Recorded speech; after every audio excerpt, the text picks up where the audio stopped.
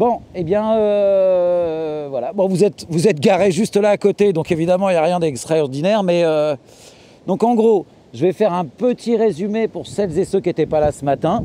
Mais je ne vais pas non plus trop m'étaler dessus, comme me l'a conseillé Aude, puisque justement, il y avait des gens qui étaient là ce matin.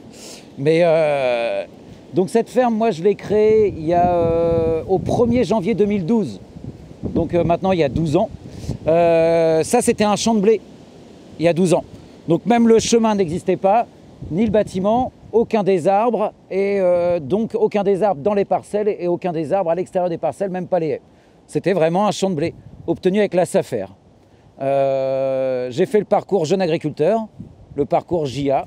J'ai un bac pro pépiniériste et un BTS euh, gestion et protection de la nature, un BTS A. Voilà. Première chose que j'ai fait entre l'hiver 2011-2012, parce que j'ai obtenu la parcelle au 1er octobre 2011, et je me suis inscrit au CFE, au Centre de formalité des entreprises, le 1er janvier 2012, et eh bien j'ai planté les arbres. Voilà. Donc, euh, ça s'appelle un verger maraîcher. Ce n'est pas nous qui avons donné le nom. Euh, en gros, c'est qu'il y a une espèce d'engouement et d'effervescence aujourd'hui à remettre des arbres dans les cultures. Aussi bien dans les systèmes maraîchers. Euh, l'image de la Normandie, logiquement, c'est le pré-verger. Coucou, ça va? c'est le pré-verger, donc un verger avec des vaches en dessous. Euh, et moi, pareil, j'ai rien inventé, parce qu'en fait, quand j'étais enfant, à l'âge de 12 ans, euh, à côté, ici, à Jumièges, en fait, je faisais du vélo sur le chemin de halage pour aller glaner les cerises qu'il y avait euh, au-dessus des clôtures. Et en fait, j'ai vu un verger avec des rangs de cerisiers, des rangs de framboisiers sur les rangs de cerisiers et en dessous des patates. Donc en fait, ça a toujours existé. C'est juste qu'on remet au goût du jour ou quoi que ce soit. Et il en existe partout en France. Donc en fait, on n'est pas du tout les seuls, il y en a plein. Il y a plein de femmes et d'hommes qui font ça. Il y a divers euh, vergers maraîchers, comme il y a diverses fermes en fait. Quoi. Voilà. Euh, donc, euh, qu'est-ce que je peux vous dire? Il y a 200 arbres fruitiers, des pépins, donc en gros des pommes essentiellement et un peu de poiriers, de la région Grand Ouest, donc des variétés adaptées au terroir, euh, ils sont plantés tous les 8 mètres sur le rang et 8 mètres interrang. Même s'il y a un petit effet d'optique, je peux vous garantir que c'est 8 mètres dans tous les sens et tout. Quoi. Euh, sur ces rangs d'arbres, ben là on le voit ici. Alors là on l'a enlevé parce que c'était un vieux rang de framboisier, mais on a des cultures étagées, donc ou des rangs de cassis, ou des rangs de groseilliers, ou des rangs de framboisiers comme à côté, derrière c'est un rang de groseillier, ou des rangs de rhubarbe aussi. Et on a même un rang de cardon. Le cardon, c'est un cousin de l'artichaut. Et en fait, on vient manger la carde, le cœur au milieu. À ça, ben, euh, c'est un verger maraîcher, mais nous, on est producteurs de légumes avant d'être producteurs de fruits. Donc, on a nos planches permanentes de légumes. Euh, bon, à cette période-là, euh, tant mieux pour nous. Si on produit des légumes, c'est pour que les gens les mangent, donc que les gens les achètent. On a quasiment tout vendu. Donc là, il nous reste deux distributions pour la map. Il nous reste un peu de patates, un peu d'oignons, un peu de courges et tout, donc on va pouvoir remplir nos paniers. Mais après, on, va être en trêve tout le mois de mars jusqu'à mi-avril. Parce qu'en gros, on a fini les stocks, mais comme ça, au moins, on peut se permettre de planter à nouveau, de semer, etc. Et donc là, bah, vous avez euh, un reliquat sur nos 10 000 poireaux. Euh, là, il ne reste plus que ça.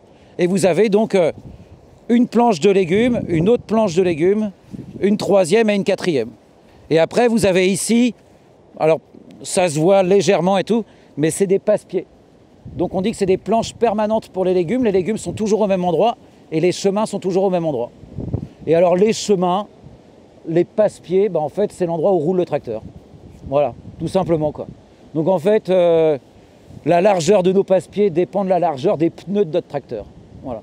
Notre tracteur, en gros, on va dire simplement, c'est des 280, donc 28 cm, mais on va dire 30.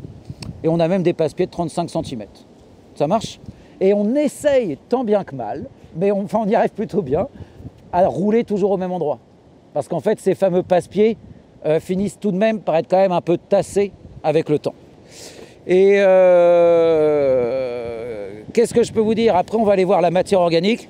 On va, je vais faire un petit, euh, un petit prélèvement, mais en gros, hop. Bah, si vous voulez, ouais, venez, venez, venez. Hein. Hop. Mais en gros, ah. voilà en gros, euh, si on fait une sorte de profil de sol, à quoi ça ressemble aujourd'hui. Alors, je me répète, on a pris 32 mm de pluie depuis hier, donc 32 litres d'eau par mètre carré. Et en gros, vous avez quand même cette structure qui est là sur le dessus et qui est grumeleuse. Alors, je ne sais pas si je l'ai dit, mais on ne fait pas de labour ici. Euh, on n'utilise pas de motoculteur, on n'utilise pas de cultirato, on utilise juste un canadien. Et on arrive aujourd'hui à avoir cette structure complètement grumeleuse, juste avec les apports de matière organique. Et tout ça se fait avec la vie du sol. Donc, on apporte du broyat. Là, ici, on a apporté de la paille qui vient d'un voisin d'à côté. On couvre le sol le plus possible, soit avec de la couverture naturelle, un paillage naturel, soit un paillage synthétique. Ça peut être de la bâche, hein. on en utilise des bâches. Et euh, ça, c'est nos apports de matière organique naturelle. Et là, ben, c'est bien parce qu'on en parlait ce matin, nous, en salle avec tout le monde. Ben là, vous avez un autre chose de l'agroforesterie, c'est qu'en gros, vous avez toutes ces feuilles aussi qui retombent chaque année au sol. Donc, euh, vous n'êtes pas sans connaître peut-être Monsieur Lavoisier. Rien ne se perd, rien ne se crée, tout se transforme. En fait, tout ce que les arbres ont pompé dans le sol, mine de rien, ça finit par retomber au sol. Ça, c'est pour le système aérien. Et après, mais pareil, je me répète, pour ceux qui étaient en salle ce matin, vous avez à peu près un tiers à deux tiers des racines aussi chaque année qui meurent dans le sol et qui viennent renourrir aussi le sol et créer de la porosité et de la structure au sol. Ça va, c'est à peu près clair? Ok. Ouais. Alors, c'est quel type de sol ici? Tu vois Non, non, mais c'est très très bien posé. je, le, je répète, je, je suis très bien discipliné. En fait, c'est du limon. Ici, on est sur des limons profonds Ici, on est sur le plateau du Roumois. Euh, on est sur des leus. J'adore, c'est que je vois les têtes de ceux qui étaient là ce matin en mode eh là là, ils répètent et tout. Mais, euh, euh, non, en fait, ici, on a vraiment de la chance. On a un potentiel agronomique, géologique des plus favorables. On a quasiment un mètre de limon. Vraiment, quand on creuse, c'est presque abusé. Il n'y a pas de cailloux, il n'y a rien. Euh, c'est exagéré et tout. Quoi. Et en dessous de ça, on arrive sur du limoneux argileux. Et bien, bien, bien plus bas arrivera la roche-mère. Mais voilà. La nappe phréatique ici, enfin nappe phréatique, en tout cas l'eau, si on veut pomper dans un forage, on est à 110 à 130 mètres. Voilà. Ouais, donc on n'a pas de forage. On ne peut pas tout avoir. Voilà. Mais, euh, mais ouais, voilà, donc on est sur des limons profonds, des limons à forte battance à l'origine, et aujourd'hui, on n'a plus de battance. Et euh, je ne sais pas si on verra à certains endroits euh, d'autres sols et tout, quoi. Mais malgré les fortes pluies, bah, en fait, ça fait plus cette croûte, ça fait plus cette euh, battance. le sol absorbe la flotte. Ce qui est plutôt pas mal, quoi. Ok. Oui. Tu pourras faire un focus sur comment étaient un peu tes arbres avant et comment vous avez décidé de les couper si tu es en mesure de le eh ben, euh, de l'expliquer. Enfin comment vous avez fait vos choix un petit peu? je le fais ici ou on se déplace un peu. Ah, comme tu veux euh, on peut se déplacer mais c'est juste non, non, euh, mais on peut hein. ben, remarquez en même temps on le voit bien aussi sur l'arbre qui est derrière même on peut le voir un peu sur celui-ci. Donc alors comment sont conduits les arbres? Non, je, fais bien mon boulot toujours s'auto-féliciter c'est la règle euh, en gros, les pommiers, parce qu'on va faire, c'est vraiment un focus sur l'agroforesterie aujourd'hui. Hein. On va parler des itinéraires techniques, mais légèrement, on en a parlé plus ce matin, et c'est pas là où croulent les légumes. C'est des euh, variétés anciennes. Il y a à peu près 12 variétés anciennes euh, de pommes de la région Grand Ouest. Il y a une variété racinaire, une variété pour le tronc et une variété après pour la tête. Il est là le collet de greffe, et après vous avez une autre variété en bas. La variété en bas, c'est un système franc. Donc c'est des pommiers d'origine de pépins, variétés rustiques avec des gros systèmes racinaires qui tracent en profondeur, parce qu'ils peuvent tracer. Euh, ensuite, vous aviez une variété comme ça, plus pour en fait une tige droite, et après vous avez une variété de tête. C'est les vieilles greffes d'autrefois en Haute-Normandie. Moi, j'ai acheté les arbres, ils avaient entre 3 et 50 greffes quand je les ai achetés. Je les ai achetés chez Monsieur Drouet à Verguetot, qui est aujourd'hui à la retraite, et qui me les avait vendus 3 euh, euros de l'arbre. Oui, c'est pour ça que je me suis autorisé euh, cette audace d'en mettre euh, autant et tout. Quoi, voilà. au début, ils étaient taillés, on dit en couronne. Vous voyez, en couronne ou en gobelet. Sauf qu'en fait, on a eu quelques soucis. après, c'est pour ça qu'on voit certaines charpentières qui manquent. C'est qu'en fait, on a fini par avoir trop de branches qui partaient sur les côtés. Pourquoi? Parce que les arbres, en fait, si je limite vraiment, mon arbre est comme ça, et sous le poids des fruits, les, branches, elles se arquent. Et sauf qu'en gros, pour pouvoir passer après avec le tracteur pour récolter les légumes, parce qu'on utilise un tracteur, et euh, tant mieux aujourd'hui, parce que ben, euh, aujourd'hui j'ai 40 ans, euh, et, j'ai envie de continuer encore pendant une vingtaine d'années. Et donc le tracteur est une bonne utilité. Bref, on a taillé ces charpentières pour pouvoir passer. Et du coup, aujourd'hui, on essaye d'emmener les arbres sur le rang des arbres. Donc c'est une sorte de pseudo-palissage. Ils ne sont pas contraints et forcés par des câbles ou quoi que ce soit et tout. Euh, mais n'empêche qu'on essaye de les emmener à gauche à droite. Et ils sont taillés et guidés par Mathias André, qui a 26 ans de métier en taille et euh, qui a été tailleur, qui taillait plein de vergers dans la vallée de la Seine et tout, quoi, et qui du coup euh, nous accompagne par rapport à tout ça. Donc tout ce qui revenait par là, même si c'est des charpentières, vous avez taillé Ouais. Et en fait, en 2020, on arrivait donc à 2012-2020, on arrivait à 8 ans. C'est là où d'un seul coup, on a sorti 9 tonnes de pommes ce qui était vraiment beau. Alors c'était une année à fruits aussi, parce que moi j'aime pas les effets d'annonce.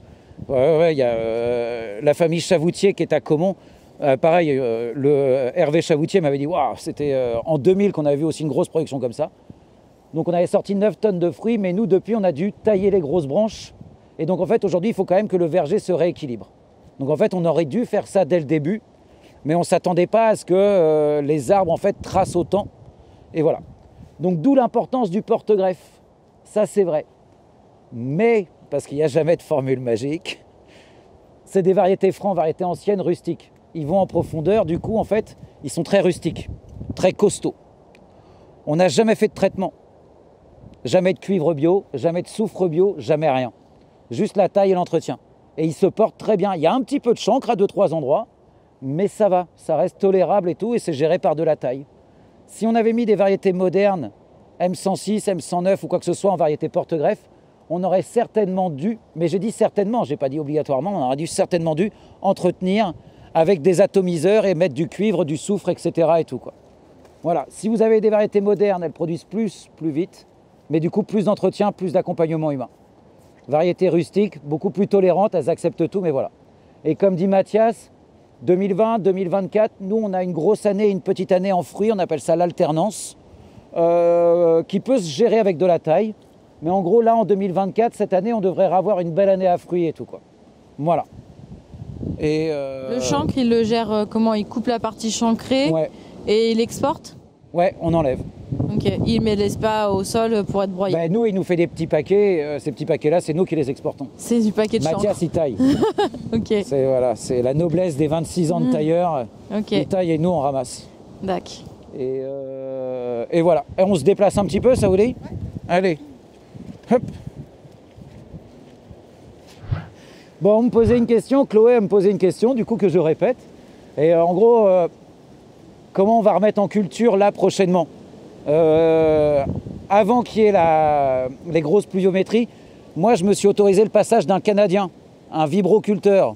C'est un petit outil à dents, peut-être qu'on le verra tout à l'heure derrière le tracteur. Ça équivaut à utiliser une grelinette. En fait, ça nous fait une petite fissuration d'environ 10-15 cm. Nous, ça nous facilite l'implantation pour la culture derrière. Ça ramène de l'oxygène, ça réveille les champignons, les bactéries, ça assèche un peu. Bref, c'est plutôt pas mal. Euh, par exemple, typiquement sur cette parcelle-là où il y avait des choux pendant l'hiver et en dessous des céleris raves, elle, en fait, on voudrait l'amender en broyat. On voudrait lui ramener un peu de nourriture. On voit qu'il y en a eu avant, hein, c'est pour ça qu'on voit un peu de brun, mais ça a été digéré.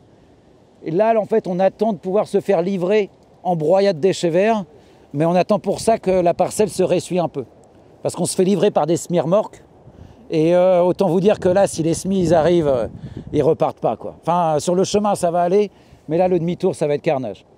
Et pour la parcelle d'à côté, là où il y avait les poireaux, eh ben, en fait, on va juste réinstaller les bâches d'occultation. On envoie à certains endroits euh, des grosses bâches bien pliées et on va juste réocculter là pendant 3 à 4 mois. Et après, on pourra remettre en culture derrière. Et euh, voilà, tout simplement. Sur bâche ou en culture euh, Eh bien, là, j'ai pas tout le planning dans ma tête, mais là-bas où il y a les grosses bâches noires d'occultation, en fait, on a amendé euh, les trois autres planches, sauf la quatrième qui était en cours. Tout ça, ce sera pour les trois zones à carottes. Donc il y aura 12 planches de carottes. Une première zone de 4, ensuite une autre zone de 4 et ensuite une autre zone de 4. Et euh, Là où il y a les poireaux, si je ne dis pas de bêtises, mais il faudrait que Louise me corrige, je crois que ça va être des choux. Peut-être pas les choux de printemps, les choux de printemps pour moi ils sont en haut et après ce sera les choux plutôt d'été qui vont se retrouver là. Donc là oui on mettra sur bâche. Voilà. Et euh... Eh bien alors tiens, c'est très bien, merci aussi, vous me tendez des perches. Est-ce qu'il n'y a que ici qu'on va mettre du broyat? En fait, euh, le broyat, on n'en met pas partout euh, la même quantité.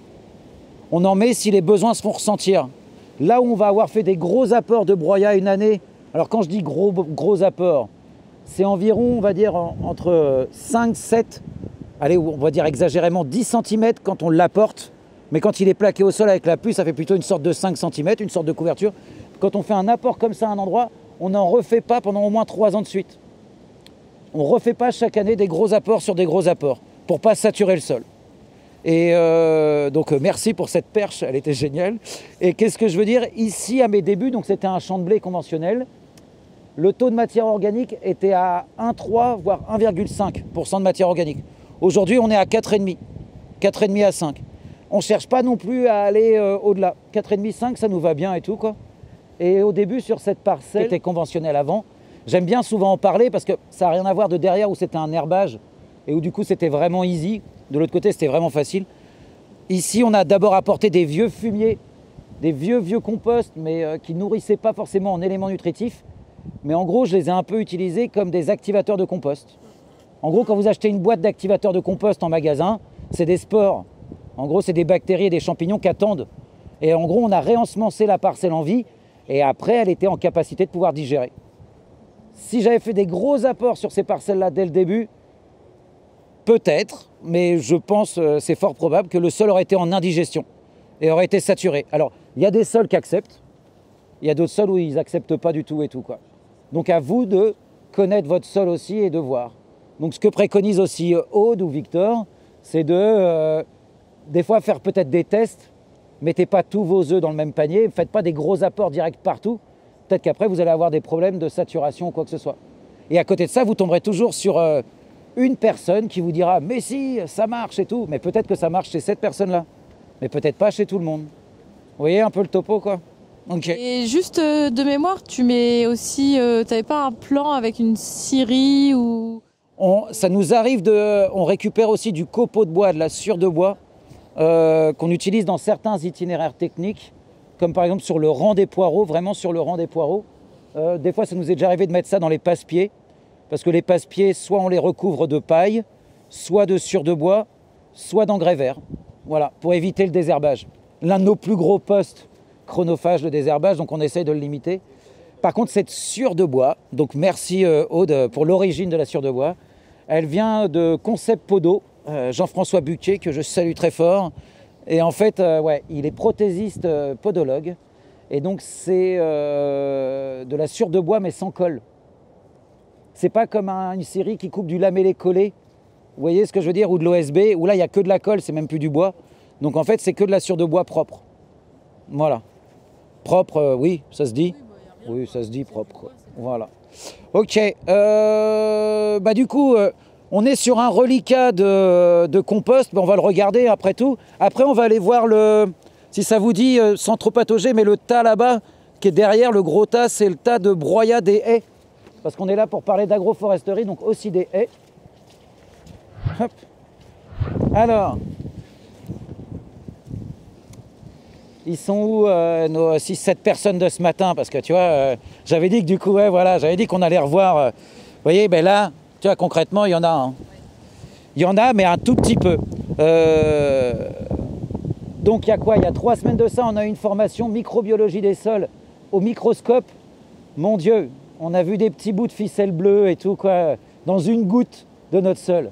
Ça fait mal. Hein. Après, elle nous a rassurés, enfin rassurés ou pas, Céline Basset, elle a dit euh, c'est chez tout le monde pareil. Donc les microplastiques, on en entend parler, quand on le voit, ça pique. Mais euh, bref, ça c'est du broyat de déchets verts. Euh, certains l'appellent compost. Le terme vraiment technique, c'est du broyat de déchets verts. Nous, ça vient de la communauté de communes. Voilà, c'est géré de manière collective, c'est la collectivité qui gère ça. on l'a à 10 euros la tonne livrée. Voilà, ça dépend des endroits. Tu vois, parce que pareil, quand je dis ça, des fois, il y a des gens qui se battent, c'est vraiment pas cher. Moi, je le dis pas pour me faire mousser.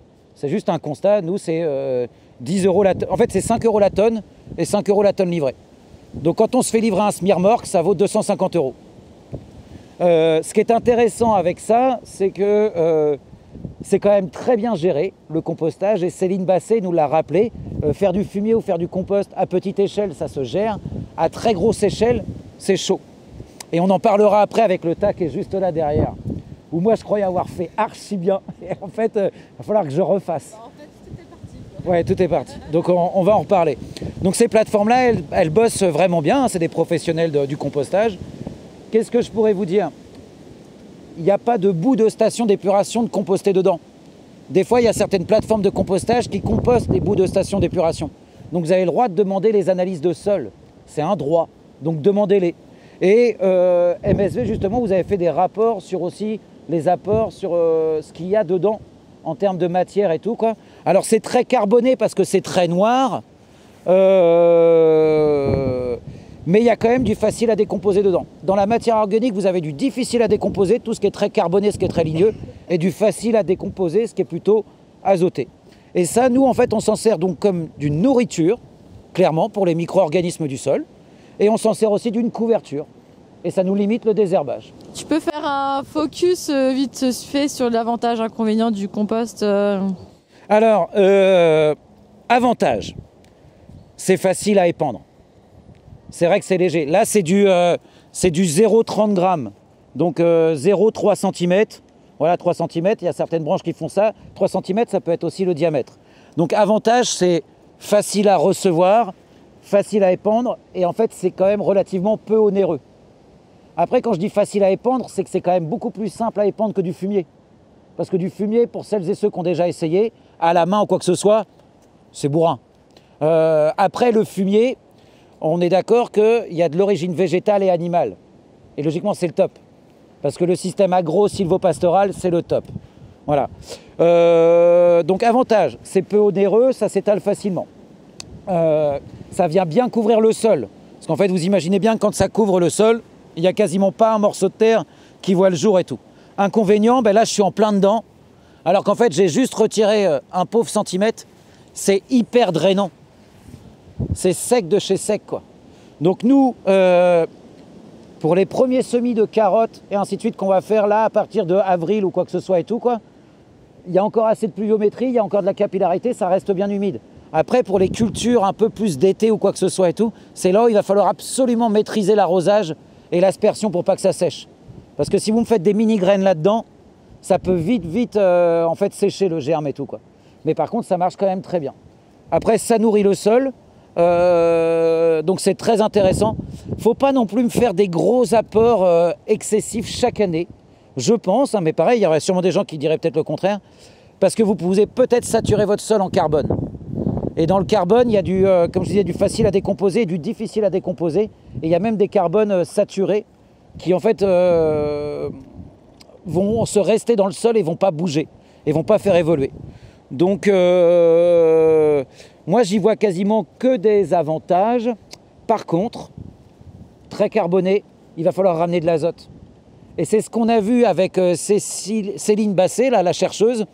Nous, on était sûr que voyant les turicules de vers de terre, voyant comment la terre ressemble à de la semoule ou du couscous, appelez ça comme vous voulez, ou du boulgour, euh, on était au top du top. Et en fait, au final, on a des bactéries, on a des protozoaires, on a un petit peu euh, de nématodes, mais on n'a pas beaucoup d'arthropodes. Il nous en manque, parce qu'en fait, il manque du verre. Donc c'est là l'importance, et tu vois, du coup, Victor est là, donc euh, je le fais mousser, mais des engrais verts il faut vraiment, vraiment ramener de l'engrais vert dans les itinéraires techniques. Et après, la problématique des engrais verts dans les itinéraires de maraîchage en petite surface, ben, c'est la petite surface. On a peu de surface disponible à la production, mais il faut absolument qu'on ramène du verre. Donc euh, là, ça va être un des euh, une des prochaines, pas forcément problématiques, mais objectifs, c'est de ramener du verre là-dedans pour euh, gérer vraiment le rapport carbone-azote. Et ça, ça ne se fait pas forcément avec des engrais granulés, des engrais bouchons azotés. ou même avec des macérations d'ortie et tout, qui sont en fait au final que de l'engrais. Je répète les mots de Céline Basset, hein. parce que moi j'étais gros fan des, des, macérations, et là je, bon, bah, je rectifie un peu mon tir, quoi. Mais il va falloir vraiment mettre des engrais verts de partout. Voilà. Donc après, par contre, elle l'a remarqué aussi, c'est que les arbres dans ces systèmes-là sont vraiment intéressants parce que les feuilles qui se dégradent avec les racines qui se dégradent ramènent de l'azote aussi. Donc euh, voilà, ça se fait plutôt bien. Pour la gestion du compost, parce qu'en fait on a quand même un tas de compost et tout là derrière le tas de branches. Euh, aujourd'hui on n'est pas du tout euh, opérationnel à ce niveau-là, parce qu'en fait ça demande des grosses machines. Et en gros on devrait toujours demander à nos voisins leur chariot télescopique ou quoi que ce soit, parce qu'en fait c'est vraiment des grosses quantités à remuer et régulièrement. Gérer un petit compost, franchement je sais le faire. Gérer un lombricompost, oui, j'y arrive bien aussi, je l'ai déjà fait dans le passé et tout. Mais commencer à gérer des grosses quantités, c'est chaud. Et moi, mes grands-pères, ils m'avaient toujours dit, et grand-mère, qu'un bon agriculteur ou une bonne agricultrice, ça se reconnaissait à la qualité de son tas de fumier. Et vraiment, parce qu'en fait, c'est la source et c'est la base de tout. Donc on peut déléguer ça à certains. Après, la décomposition, elle peut se faire dans le champ avec les engrais verts ou autres et tout. Et pourquoi je vous dis ça? Ben, C'est que maintenant, on va aller voir... Euh, donc en gros, vous voyez, les haies ont été coupées l'année dernière en février. 250 euh, mètres cubes de branches, un tas énorme. Mes voisins sont venus m'aider avec leur chariot télescopique. Un voisin est venu couper tout ça avec son tracteur et son épareuse à disque. Un volume de branches de ouf. Euh, maintenant, on fait partie d'une CUMA qui s'appelle Énergie. C'est comme les coiffeurs, comme Couptif ou quoi que ce soit. C'est des jeux de mots, euh, voilà, c'est particulier. Mais on est 200 adhérents et c'est un broyeur à plaquettes qui est venu avec un Fent de 320 chevaux plus le broyeur. Il y en avait pour un million d'euros de matériel et tout. Euh, en une heure et demie, il m'a broyé 250 mètres cubes. Il a un grappin et tout. Il m'a fait tout un tas là-bas. J'étais fier, franchement, du tas et tout. Quoi. Et en fait, euh, Céline Basset m'a expliqué que le tas était monté trop vite en température et qu'en fait, quasiment tout était parti dans l'air. Donc, si, ouais, tout s'est évaporé. Donc, on est tous là à se dire, tiens, c'est de la vapeur d'eau. Pas que. Il y a aussi de l'azote qui part et plein de choses. Quoi. Donc, en fait, maintenant, ce qu'elle m'a conseillé, elle m'a dit, bah, soit tu mets ça là dans tes passe-pieds, puis en fait c'est un paillage qui se dégradera quasiment pas. Donc euh, ouais, pourquoi pas. Mais elle m'a dit si tu veux vraiment faire un compost, bah, il va falloir étaler tout ce tas et faire un andin en gros de 1m50 de haut sur à peu près 40-60 mètres de long et venir y rajouter du verre. Voilà. Et ouais, tout ceci est une autre histoire. Mais donc on peut aller voir le tas parce que euh, au début on est tous fiers parce qu'on voit du blanc, on se dit c'est du champignon. C'est pas du tout du champignon. C'est des cyanobactéries, si je ne dis pas de bêtises.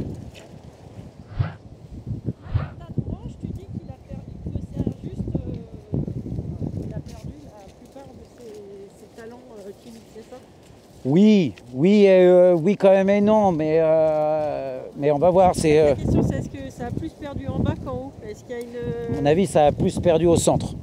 D'accord. Tu vois, parce qu'en fait, quand tu regardes euh, autour, autour, on va voir que ça va. Mais en fait, logiquement, quand je creuse à l'intérieur, manquerait plus qu'il ait évolué. Non, non, mais voilà, c'est là. Dès que du blanc, c'est que ça. Eh ouais, en fait, le blanc, on est tous là à dire c'est des champignons. Pas du tout. C'est des cyanobactéries, quoi. J'ai appris ça il y a trois semaines, en mois, quoi. Ah, j'étais sûr de mon coup, pourtant. Hein.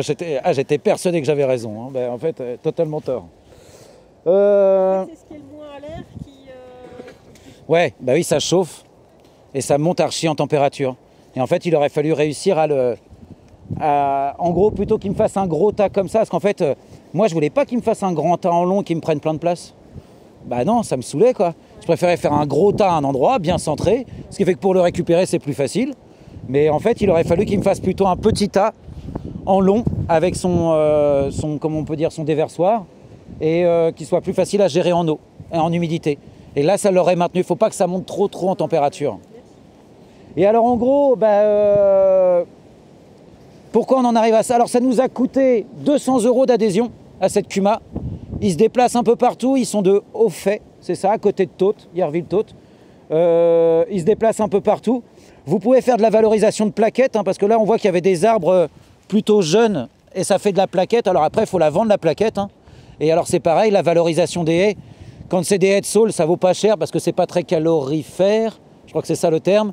Quand c'est du chêne ou quoi que ce soit, si vous faites de la plaquette, ben, ça va rapporter beaucoup d'énergie en chaudière, là c'est plus intéressant. Euh, nous aujourd'hui, on devait bien gérer Noé pour le vivre ensemble avec les voisins.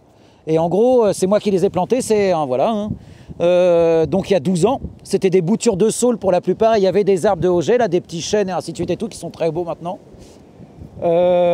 Jusque-là, on demandait des dérogations, on, le droit, on avait le droit de brûler les branches. Voilà. après, j'ai demandé à la déchetterie pour recevoir les branches, mais ils ont refusé. Parce que, ben, faut imaginer que les saules là faisaient 4 mètres de plus de haut, avec des branches d'environ 10-15 cm de diamètre. Et en fait, ils refusent ça à la déchetterie. Donc en fait, tu n'as pas le droit de brûler, tu n'as pas le droit de les emmener à la déchetterie. Bah, qu'est-ce que tu fais de ça quoi? Alors si certains connaissent, on peut dire à part une garenne, un endroit parfait pour les lapins. Et quand on produit des légumes, c'est chiant. Donc en gros, il fallait bien qu'on broie. Quoi. Donc on a adhéré à cette, euh, à cette Cuma. Et maintenant, bah, au moins, voilà, on se retrouve avec ce tas-là. Alors, c'est pas dramatique, hein, ça va se sauver quoi. Mais en gros, euh, il aurait fallu qu'on arrive à éviter, euh, à éviter ça là. Le fameux. Combien de temps le fait que. Ça, comment ça a chauffé Quelques heures ah, En quelques jours. En, moins de 15 jours. Et c'était dingue. Hein. Tu creusais comme ça, tu pouvais pas laisser ta main. Tellement c'était bouillant quoi. Et moi je me disais chouette, ça composte bien. C'est euh, pas du tout. C'était voilà. Et, et ça allait très très vite. Alors après, euh, ça va se rattraper. Hein. Et le, taille, quand même, euh, il y a du petit, il y a du moyen, il y a du gros. Mais, euh, mais voilà. Mais on est nombreux et nombreux. Pour ça que ces réunions ou ces rencontres ou ces formations, elles sont géniales et déstabilisantes. Parce que des fois, on pense savoir. Et puis après, on se fait tout petit et on se dit Ah, tiens, je sais que je sais pas tout. Et voilà. Mais bon, il fallait bien que j'en fasse quelque chose. Hein. Donc ça, imaginez ce tas-là. En une heure et demie, il a broyé ça. Et en fait, ça nous a coûté, euh, je crois, 300 euros pour broyer 250 mètres cubes. Donc voilà, c'est de la gestion de haies et tout, quoi. Donc euh, c'est plutôt intéressant. Alors, j'ai des potes qui m'ont dit, mais pourquoi t'as pas loué un broyeur chez l'Oxam Pour pas, enfin, mais j'aurais pas pu, quoi. Nous, toutes les branches là, de toutes les haies, au télescopique, qu'on a mis ça en tas, quoi. Mais impossible de récupérer une branche, quoi. Et là, le gars, il est là avec son grappin et tout, quoi. Donc euh, vive le machinisme quand même et le modernisme. Hein. Mais pour ça, il faut de la place. Donc on est bien content d'avoir cette zone quand même bah, pour euh, entreposer toutes ces branches et ainsi de suite et tout. Quoi. Pour ça qu'il ne faut pas voir non plus trop petit dans son système quand on veut recevoir des choses et ainsi de suite et tout. Quoi. Ça marche? On s'est posé la question, gros épandeur, enfin ou épandeur, etc., épandeur viticole ou épandeur arboricole parce que c'est étroit et tout. Mais en fait, on s'est dit que par rapport aux apports qu'on avait à faire et tout, quoi, c'était peut-être pas le plus pertinent.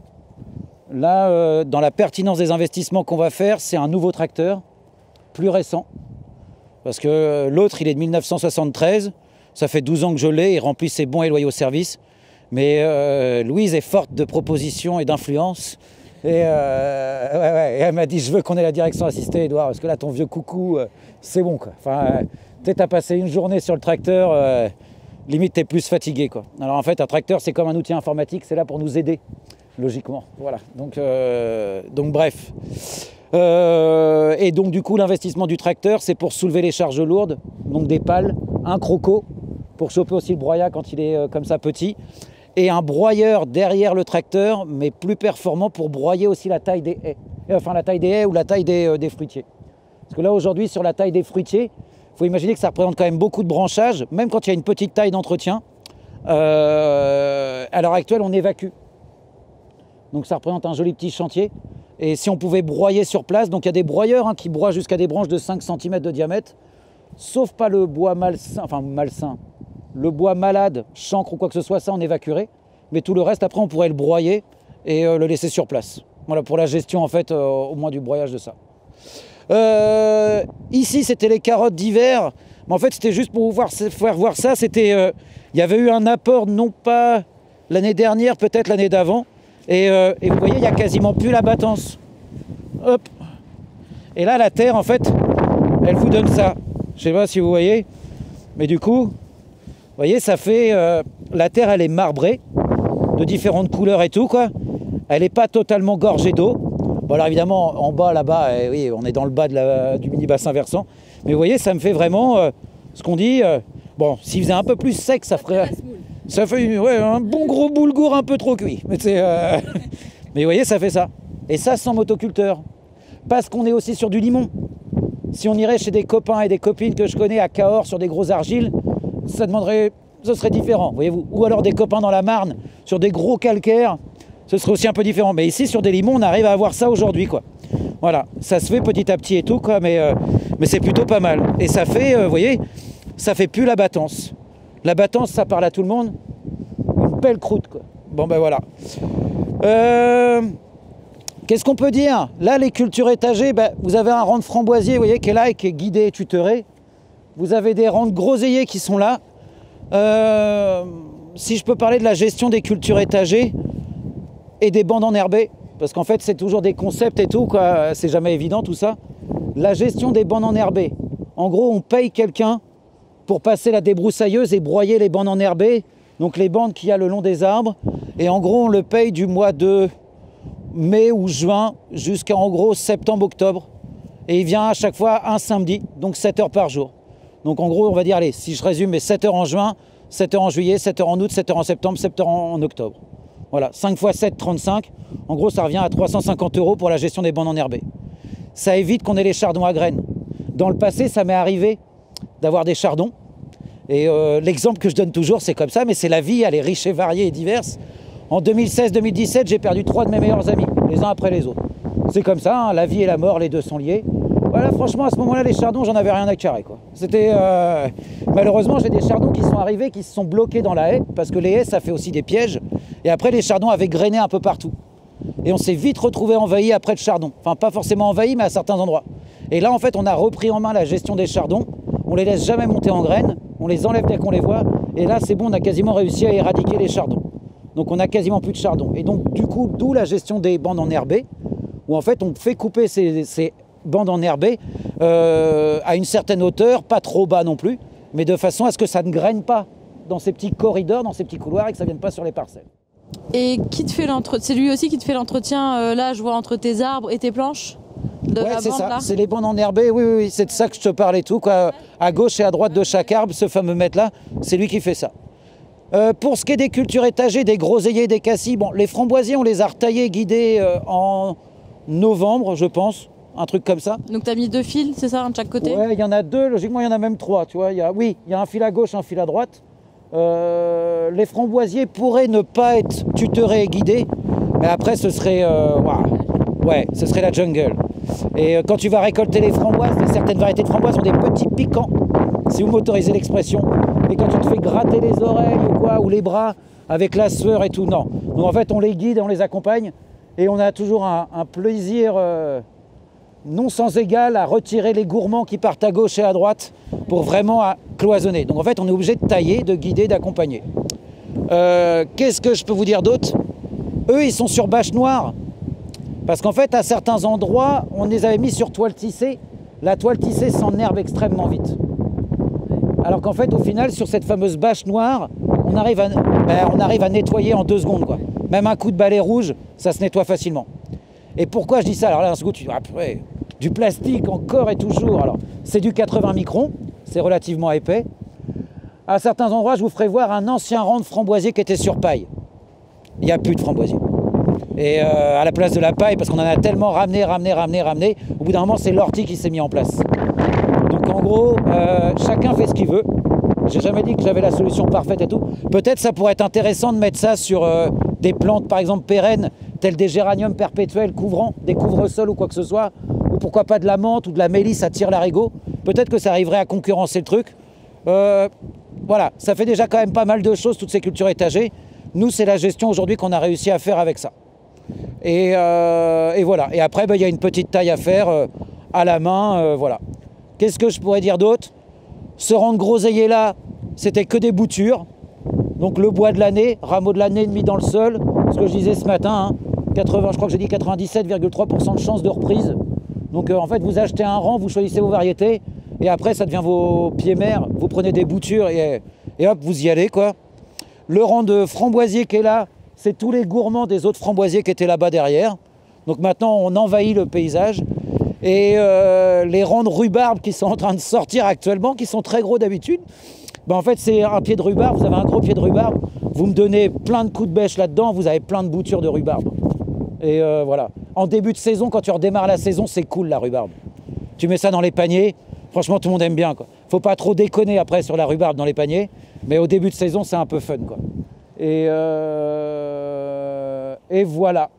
Eh ben on va, bah tiens, on va faire un, saut de puce, tu vois, juste, euh, hop, euh, ici, hop là, on n'est pas allé loin. Hein.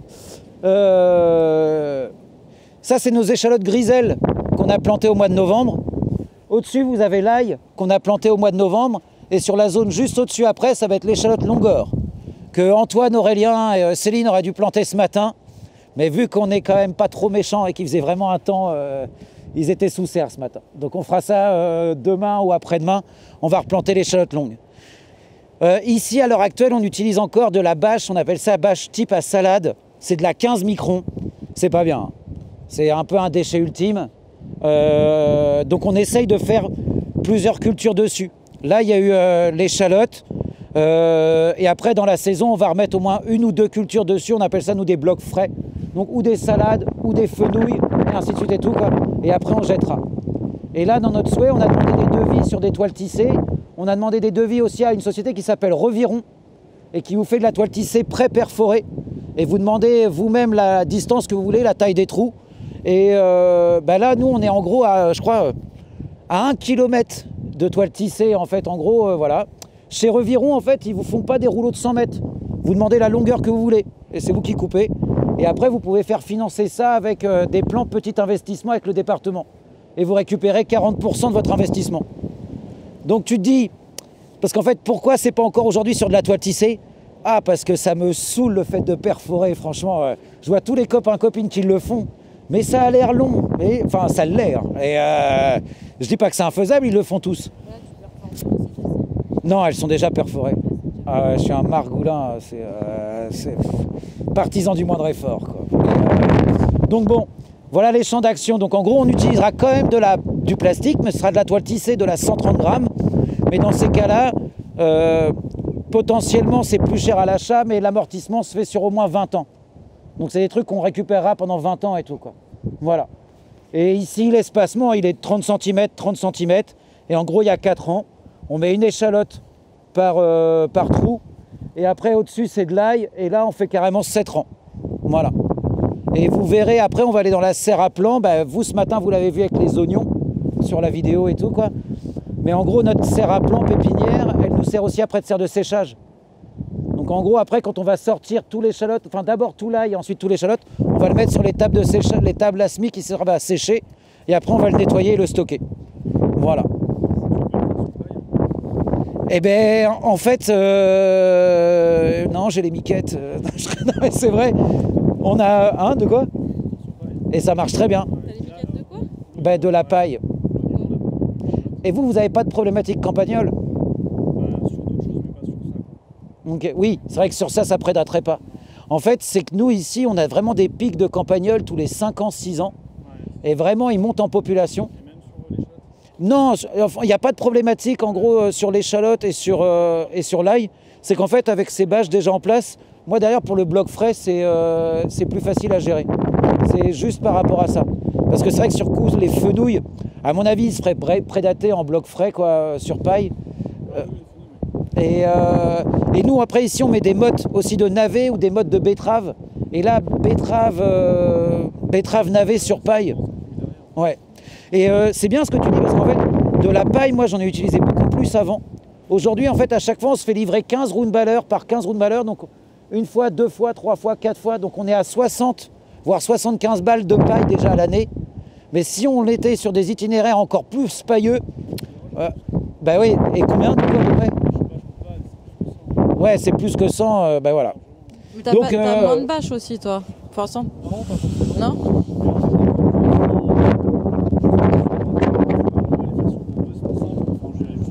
Ouais.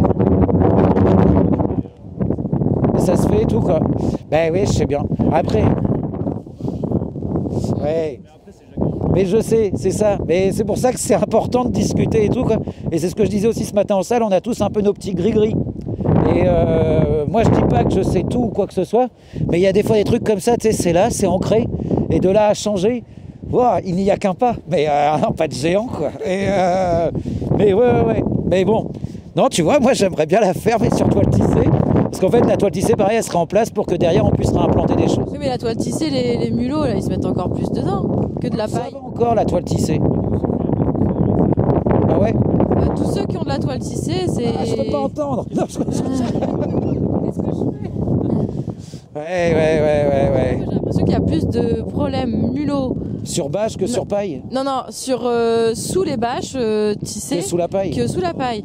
Parce que les chats. c'est pareil. Les chats, euh, tu vois, sous la. Quand parce que la, plupart du temps, c'est les chats le moyen de lutte. Ouais. Et en fait, les chats, bah, ils peuvent pas se glisser sous la, sous la bâche alors qu'ils peuvent quand même, avec la paille, réussir à choper des trucs, quoi. Ouais, je sais pas.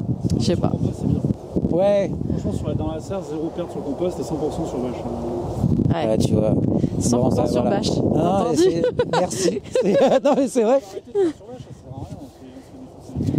Bah, nous, ça dépend. Ça dépend des moments. Et sinon, qu'est-ce que je pourrais redire d'autre encore pour. Euh, entre ça, bâche, paille et tout, c'est pareil. Hein. Chacun après est libre dans ses choix. Et, euh, et, vous ferez tous vos expériences. Nous, les ballots de paille, pour essayer de rebondir comme ça, nous, on les a entre 20 et 25 euros la balle ronde livrée. Et ça dépend des endroits. Par contre, pareil, encore une fois, le vivre ensemble, c'est pas de la paille bio. Tu vois, si on veut discuter de ça et tout, quoi, nous, c'est la paille d'un voisin et tout, quoi, qui est là. Euh, bah ouais, non, mais voilà. Et euh, on essaye de prendre celui qui utilise euh, pas de raccourcisseur et ainsi de suite et tout, quoi. Par contre, bah, du coup, c'est pas forcément la, la moissonneuse batteuse la plus performante. Alors du coup, dans la paille, ben, on récupère des fois des nouvelles graines de chardon qui arrivent. Et tu fais ah ou, euh, eh ouais, ou des graines d'autre chose. Ou alors après, ben, la paille, pareil, limite l'enherbement. Elle ne l'empêche pas. Et en plus, pour peu qu'ils aient moissonné par temps un peu humide, vous allez avoir de l'orge qui va germer, du blé qui va germer. Et là, tu fais, mais alors à quoi bon? Et bon, ben, en fait, c'est qu'il n'y a pas de formule magique. Voilà. Mais c'est la somme. Donc pour ça, faites plein de visites de ferme allez voir plein de femmes et plein d'hommes qui font des choses, prenez un peu à gauche, à droite, et faites votre popote avec tout ça. En attendant, on essaye tous, tu vois, à, notre mesure, et puis euh, voilà, il y a des choses qui marchent et des trucs qui ratent. Oui, alors pourquoi je vous fais voir ça quoi? Parce que euh, quand on va attirer la biodiversité, je le disais ce matin, il faut des plantes qui fleurissent tôt et des plantes qui fleurissent tard pour nourrir tous ces insectes et tout. Quoique là, ils ont dû se cacher. Hein. Faut que je me mette comme ça? Bah, juste comme ça, Non, je... C'est presque gênant. Hein. Euh, bref, ça c'est le saule. Ça fleurit super tôt dans la saison. Vous voyez, il n'y a quasiment rien d'autre. Et pour attirer la biodiversité, il leur faut bien le gîte et le couvert. Bon, ben là, la nourriture, elle est là. Et euh, j'avoue que c'est assez perturbant. Moi, cette année, en Mayenne, en janvier, j'ai vu des bourdons voler. Quoi. Je sais pas, ils ont trouvé beaucoup de nourriture et tout, quoi, mais voilà. Euh, il y a trois semaines déjà. Ouais. Ouais, moi je préfère les bourdons aux papillons. Hein. Non, j'avoue, c'est le lien maraîcher. Euh, bref, sinon là dans la haie, en orange, autrefois je disais que c'était du euh, saule osier. Pas du tout. non. C'est Salix minimalis. Et en fait, on m'a expliqué que l'osier c'est un jeune rameau de saule. Donc c'est pas du tout le saule osier, tu vois. Et j'étais Oui, mais il y en a qui se prêtent plus ou moins à faire, euh, à faire de la vannerie. Et, de la vannerie. et là, du coup, en gros, c'est Salix minimalis, le orange, qui se prête très bien à la vannerie. Et après, l'autre que vous avez bah, juste derrière toi, Raphaël, en, en, vert foncé, un peu, ouais, pourpre, c'est le saule marceau. Voilà, une autre variété de saule et tout quoi. Euh, espèce pionnière, croissance rapide, euh, bouturage 125% de chance de réussite si on prend un jeune rameau. Et, euh, on peut planter des boutures de 3 mètres. Oui. Et, ça reprend quoi. Et à, l'époque, si on veut parler des haies, alors les haies, tiens, tout à l'heure on en parlait. Peut-être qu'on le voit moins à cet endroit-là, mais c'est plus marquant à d'autres. La haie, on l'a plantée à 3 à 4 mètres du voisin pour du vivre ensemble et tout, quoi, pour pas trop gêner le voisin quand on entretient. Mais l'an dernier, quand on a taillé toutes ces haies, j'ai quand même dû rouler chez le voisin pour ramasser toutes mes branches. Donc là, le vivre ensemble est hyper important. Parce que quand tu lui écrases toute sa culture et tout, quoi, faut qu'il ait une énorme ouverture d'esprit pour accepter que tu fasses ça. Quoi. Il y en a aucun qui accepte. Non, mais oui, mais moi j'ai eu de la chance. Oui, oui, non, mais en culture. Oui. Une, fois qu'il n'y a plus rien. Non, mais c'est pour ça que ça s'anticipe. Par exemple, nous, en gros, notre voisin nous a dit non, mais je fais du lin. Donc c'était pas cette année-là, c'était l'année d'avant. Il dit je vais faire du lin. Donc non, il n'y a rien dans la parcelle. Donc oui, tu peux rouler. Et là, tu fais bah, combo. Donc là, vas-y, on l'a fait quoi. Et euh, pour ces boutures, elles avaient été faites donc à l'hiver 2011-2012 les boutures de saule, euh, j'avais fait des grands paquets que j'avais laissés dans le pied dans la mare, ça avait refait des racines. Et après, j'avais juste pris ma bêche comme ça et je faisais un grand pas tous les mètres. Et je faisais juste ça, j'écartais bien. Et après, je mettais la branche et un coup de talon et c'était bon. C'était en quelle année tu l'as planté cette haie-là? L'hiver 2011-2012. J'ai obtenu la parcelle en octobre, on a dû faire ça en décembre. Et, euh, après, on avait fait un deuxième rang avec des arbres de Auget comme ce marronnier, qui va certainement nous quitter d'ici quelques années parce qu'il y a un champignon qui défonce tous les marronniers. Et après, vous voyez, il y a un, autre chêne qui est là-bas. Là-bas, il y a un chêne vert. À la base, il y a des arbres de Auget tous les 10 mètres. Mais Romain, quand il a coupé avec les pareuses, euh, il est allé un peu vite. Donc, du coup, il y a des arbres de 10 mètres qui ont perdu leur tête. Bon, c'est pas grave. Et il y avait un troisième rang, mais qui a disparu. Et on appelle ça la succession végétale. Et voilà. Et donc, vous voyez, il y a la DRAF qui est venue faire un contrôle ici sur des prélèvements de fruits et des prélèvements de légumes pour voir s'il y avait des polluants. Et en gros, euh, bah, ils m'ont dit qu'ils n'avaient jamais vu ça. C'est-à-dire euh, une haie plantée à 3 mètres derrière et après vous avez le passage de tracteur. Donc ce qui fait que les premiers légumes, bah, ils se retrouvent potentiellement entre 7, ouais, on va dire 7 mètres, quoi, à mon avis, euh, du champ du voisin. Donc on s'installe sur un plateau agricole qui n'est pas bio, nous, on veut faire du bio, mais on n'est pas là pour faire suer tout le monde. Quoi. Chacun est libre dans ses choix. Hein. La phrase, c'est la liberté des uns s'arrête là où commence celle des autres. Chacun fait ce qu'il veut. Mais moi, j'ai décidé de faire d'une autre manière. Donc, du coup, aujourd'hui, on a décidé avec Louise, bon, ben, on s'adapte. Et du coup, euh, zéro trace de euh, polluants de l'agriculture, euh, voilà, du coin et tout par rapport à ça. Et il n'y avait rien du tout. Autant dans les fruits et tout, quoi. Et ils ont prélevé partout. D'ailleurs, ils sont arrivés comme ça en contrôle surprise. Et voilà. Sachez que moi, je me fais contrôler par tout le monde tout le temps. Euh, bah, il faut, être, il faut se faire voir pour être vu, mais quand tu es vu, du coup, ah ben, euh, on te voit bien. Voilà. Pour vivre heureux, vivons cachés, quoi. Mais euh, ouais, ouais, moi j'ai le droit à la DDTM de l'heure, la DDTM de Seine-Maritime. Après, je leur ai dit l'année prochaine, c'est qui? C'est le Calvados qui vient, quoi. Et voilà. Et la blague que je dis à chaque fois à tout le monde, parce que je, je vieillis, donc je me répète, c'est qu'il n'y a que mes cheveux qui sont pas carrés ici, quoi. Parce qu'on adore communiquer, mais du coup, bah, forcément que euh, derrière, euh, bah, ça peut attirer euh, ouais, des oiseaux de mauvais augure. Non, mais après, j'étais heureux aussi parce que la draft, moi, ai dit revenez, hein, je fais au contraire, si vous voulez qu'on communique. et quand il y a des contrôles comme ça, s'il y a les stagiaires, moi, je demande aux stagiaires de participer au contrôle. Parce que ça fait flipper un contrôle, mais en même temps, c'est bien qu'on soit contrôlé par les organismes bio. Parce que ça prouve la bonne pratique. Voilà. Bon, alors on continue hop, il y a une zone là-bas derrière où en fait c'est en jachère et on va la remettre en culture, la deuxième en herbé. Et c'est sur des jachères sur trois ans. C'était par rapport au principe aussi des engrais verts. En fait, le plus bel engrais vert, c'est la jachère. Les plantes pionnières, elles s'installent et tout. Après, celle qui est ici, c'est pour un chemin d'accès. C'est pour pouvoir passer, redescendre et ainsi de suite et tout. Quoi. Donc, euh, pensez au chemin d'accès que vous faites une ferme. Pouvoir passer tout autour, tourner, ainsi de suite, se déplacer, faire demi-tour aisément. Et euh, voilà. Euh, ah, le vent qui rend fou. Euh, bref, sous vos yeux ébahis, c'est de la manipulation psychologique. Euh, là, il y avait un engrais vert. C'était un engrais vert, c'était un mélange. il y a des reliquats encore. C'était un mélange de facélie, de. alors, bah, elles sont plus du tout là. De fèves. Il y avait de la fèverole, mais la fèverole, en fait, c'est devenu ça. Et euh, oui, il y avait du trèfle. Tu vois là, euh, et quasiment tout a été détruit par. Euh, alors la planche de gauche, elle était encore en chou, mais c'était les trois autres planches et tout quoi. Facélie, Févrole et trèfle. Et en fait, on a encore les photos, hein, et tout était vraiment tout ça. Et là, tout a été détruit par le gel.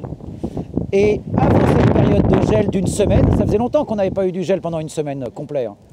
Hein lors de la visite GI2E, en grès vert et tout, on me demandait comment tu vas détruire ça. Je faisais, bah sincèrement, je pense qu'on va broyer et après on va bâcher.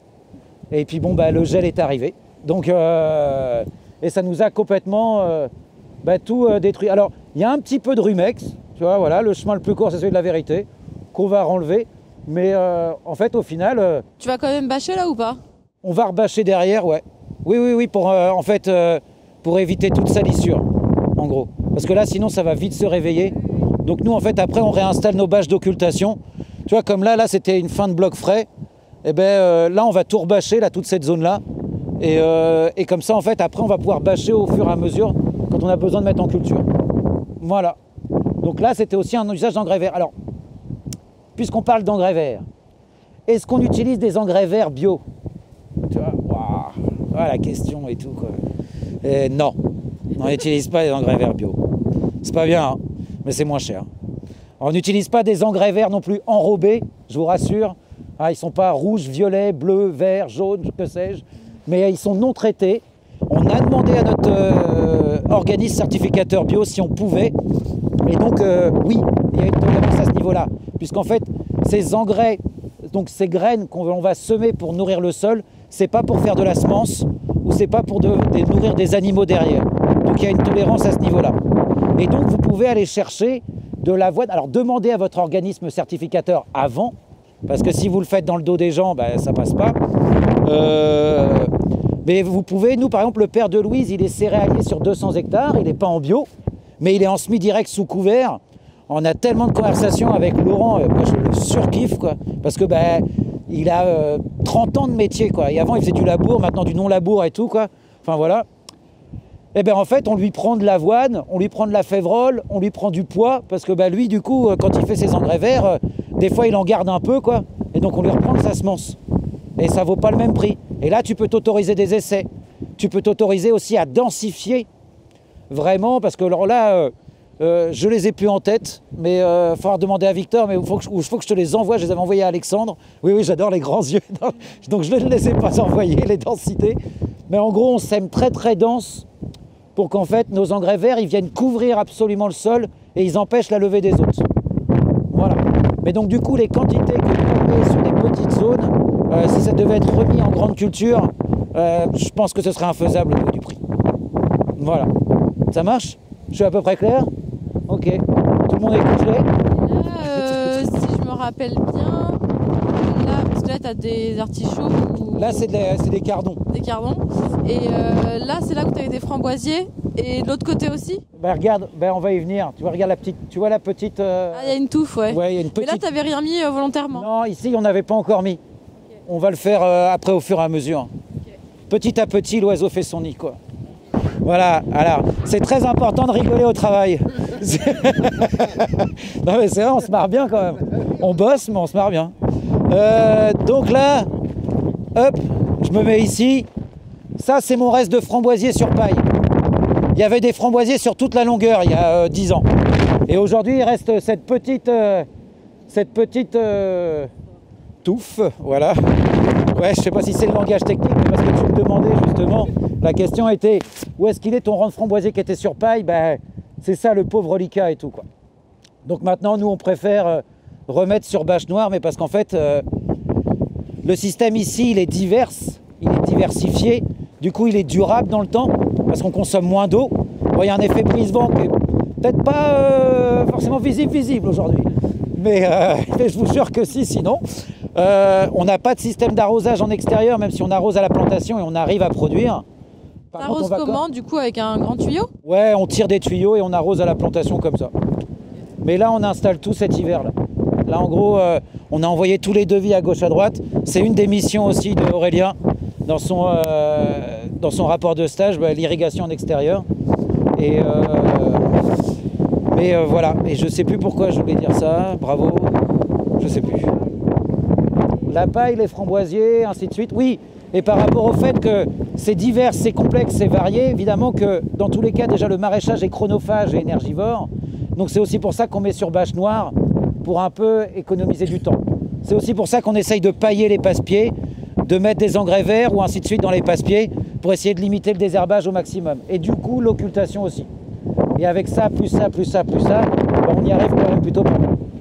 Voilà. Euh, qu'est-ce qu'on pourrait voir? Bon, là, lui, il n'est pas du tout dans le bon sens. Et d'ailleurs, il, a pris un peu cher, là, mon nichoir. Parce que logiquement, il devrait être de l'autre côté. Euh, non, ouais. Logiquement, tu vois, on le voit sur les autres, ils sont orientés vers l'est, les nichoirs. Vers là où le soleil se lève. Et il y a 50 nichoirs à mésanges bleus et mésanges charbonnières. 50 nichoirs sur 200 arbres fruitiers. Un nichoir tous les 4 arbres, qui ne sont pas tous habités, mais pour prédater les pucerons. Les, les ornithologues les appellent les trapézistes. C'est vrai que je ne vous l'ai pas dit ce matin, parce que des fois on voit les mésanges carrément la tête en bas et qui nettoient les bourgeons de pucerons pour nourrir les oisillons.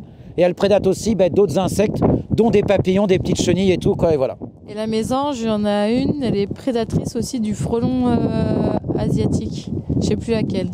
Ah bah alors là, je sais pas non plus. Ouais. Bah, il y en a une. bah, la charbonnière est plus grosse que la bleue. Je sais pas. Alors, bon, là, tu me poses une colle. Mais il y en a une des deux. Bah, la bonderait à. Moi, je l'ai. Elle fait tomber le truc. Moi, je l'avais vu au bout des portes de serre, c'est les guêpes qui se mettent dans les tubes. Ouais, on a un rapace qui s'appelle pondré apivore, apiculture. Et elle mange, voilà. Et en fait, elle a les plumes tellement bien faites qu'elle se fait pas piquer. Mais en tout cas, nous, on travaille avec la LPO. Rapprochez-vous de la LPO, la Ligue de protection des oiseaux, pour faire des relevés oiseaux, insectes, chauves-souris et autres. Ils peuvent vous aider, vous accompagner. Euh, bon, on se redéplace. Ces arbres-là, ils sont pas euh, du même âge que les autres. Là, c'est des poiriers. Euh, là, c'est des poiriers. C'est des poiriers qui ont été plantés la même année que les pommiers. Malheureusement, c'était des poiriers qui en fait étaient restés trop longtemps, on dit en jauge chez le pépiniériste, et ils se sont nanifiés, un peu comme des bonsaïs. Donc m'achetez pas les arbres euh, à la foire aux arbres, la fin de série à pas cher. En mode je vais faire des économies de bouts de chandelle, ben, ce sera vraiment des bouts de chandelle. Parce que du coup, on a un qu'on va, on va voir par là-bas. Derrière, il a été planté la même année, il y a 12 ans, il n'a pas bougé. Alors moi, je veux le dégager. Le a dit, mais il fait quand même des poires. Bon, bref, c'est une négociation. Et, euh, depuis, en fait, on a rajouté, euh, c'est ce qu'on voit dans les filets, quelques figuiers qui peut-être un jour prendront le relais de ces poiriers qui sont pas beaux. Voilà. Euh, eh bien, allons passer sous une serre peut-être, parce que là... ce que je voulais vous faire voir ici, c'était par rapport aux gros apports de matière organique. donc pas cette année, donc 2023. Donc ouais, ici, ce que je veux faire voir, c'est par rapport à, du coup, en 2022, c'était nos carottes de fin de saison qu'on avait fait sur un gros apport de broyat d'environ, on va dire, 5 à 7 cm de broyat vraiment posé sur le sol, un sol qui avait été bâché avant, complètement occulté. On avait désocculté, on avait mis directement le broyat et on a semé là-dedans. Et en gros, le broyat euh, a été digéré bah, du coup pendant cet hiver-là, l'hiver 2022-2023. Cette année, ça a été les courgettes qui ont été dessus sur bâche. Et là, bah, vous voyez, en fait, euh, en gros, ça vous donne ça maintenant à l'heure actuelle. Et ça vous donne cette terre-là et tout, quoi. Alors, le petit chardon qui est là. Mais voilà. Et vous voyez, maintenant, on a tout ça et tout, quoi, qui est encore tout grumeleux. Donc, tout ça pour dire qu'on a fait un gros apport en 2022, pas en 2023, pas en 2024. Ça marche? Et on en refera peut-être un petit, mais en entretien, en 2025. Ça marche? Voilà. On refait pas des gros apports sur des gros apports et tout, quoi. Mais euh, à voir après chez différentes personnes et tout. Mais nous, on préfère pas faire ça. Je vous ai fait voir les saules qui fleurissent très tôt dans la saison. Si on continue sur les choses qui fleurissent très tôt dans la saison, en jaune, vous avez les forsythia qui vont fleurir très très tôt dans la saison. Vous allez avoir après là-bas les genêts à balai, euh, qui sont d'ailleurs des, euh, comment dire, des plantes qui captent l'azote de l'air. Et après, on a d'autres trucs aussi à la maison, c'est des cassifleurs et ainsi de suite. Après, je vous parlais du vivre ensemble et du voisinage et ainsi de suite. Pourquoi je me mets ici? C'est parce qu'en fait, la parcelle qui est juste là, là derrière et qui va jusqu'à tout là-bas, qui fait à peu près un hectare, ça fait 12 ans que j'en rêvais. Et en fait, on signe là euh, cette semaine ou la semaine prochaine chez le notaire. Voilà. Donc si j'avais dit que mes voisins faisaient n'importe quoi et tout machin, hein, jamais mes voisins ils m'auraient proposé cette parcelle. Et, euh, et, là, il est venu nous la proposer et tout quoi. Donc euh, là, on va pouvoir récupérer cette parcelle là et pouvoir ainsi entre guillemets, s'agrandir, mais pour pouvoir toujours faire des rotations, laisser reposer le sol et ainsi de suite et ainsi de suite. Donc euh, ça, c'est pour du vivre ensemble. Voilà. Sinon, euh, bon, ben, la charrue de mon grand-père, mais bon, ben, on s'en sert pas des masses. Euh, cet épandeur-là, on s'en est servi quelques fois au début. On va se servir là, mais le seul problème de cet épandeur, c'est pas sa taille ni rien. C'est qu'en fait, la voie, la voie, c'est la largeur des pneus. Elle n'est pas en phase avec celle du tracteur les pneus sont plus larges que sur le tracteur, ce qui fait que si on roule avec ça sur les planches, en fait, on va écraser toutes nos planches et tout.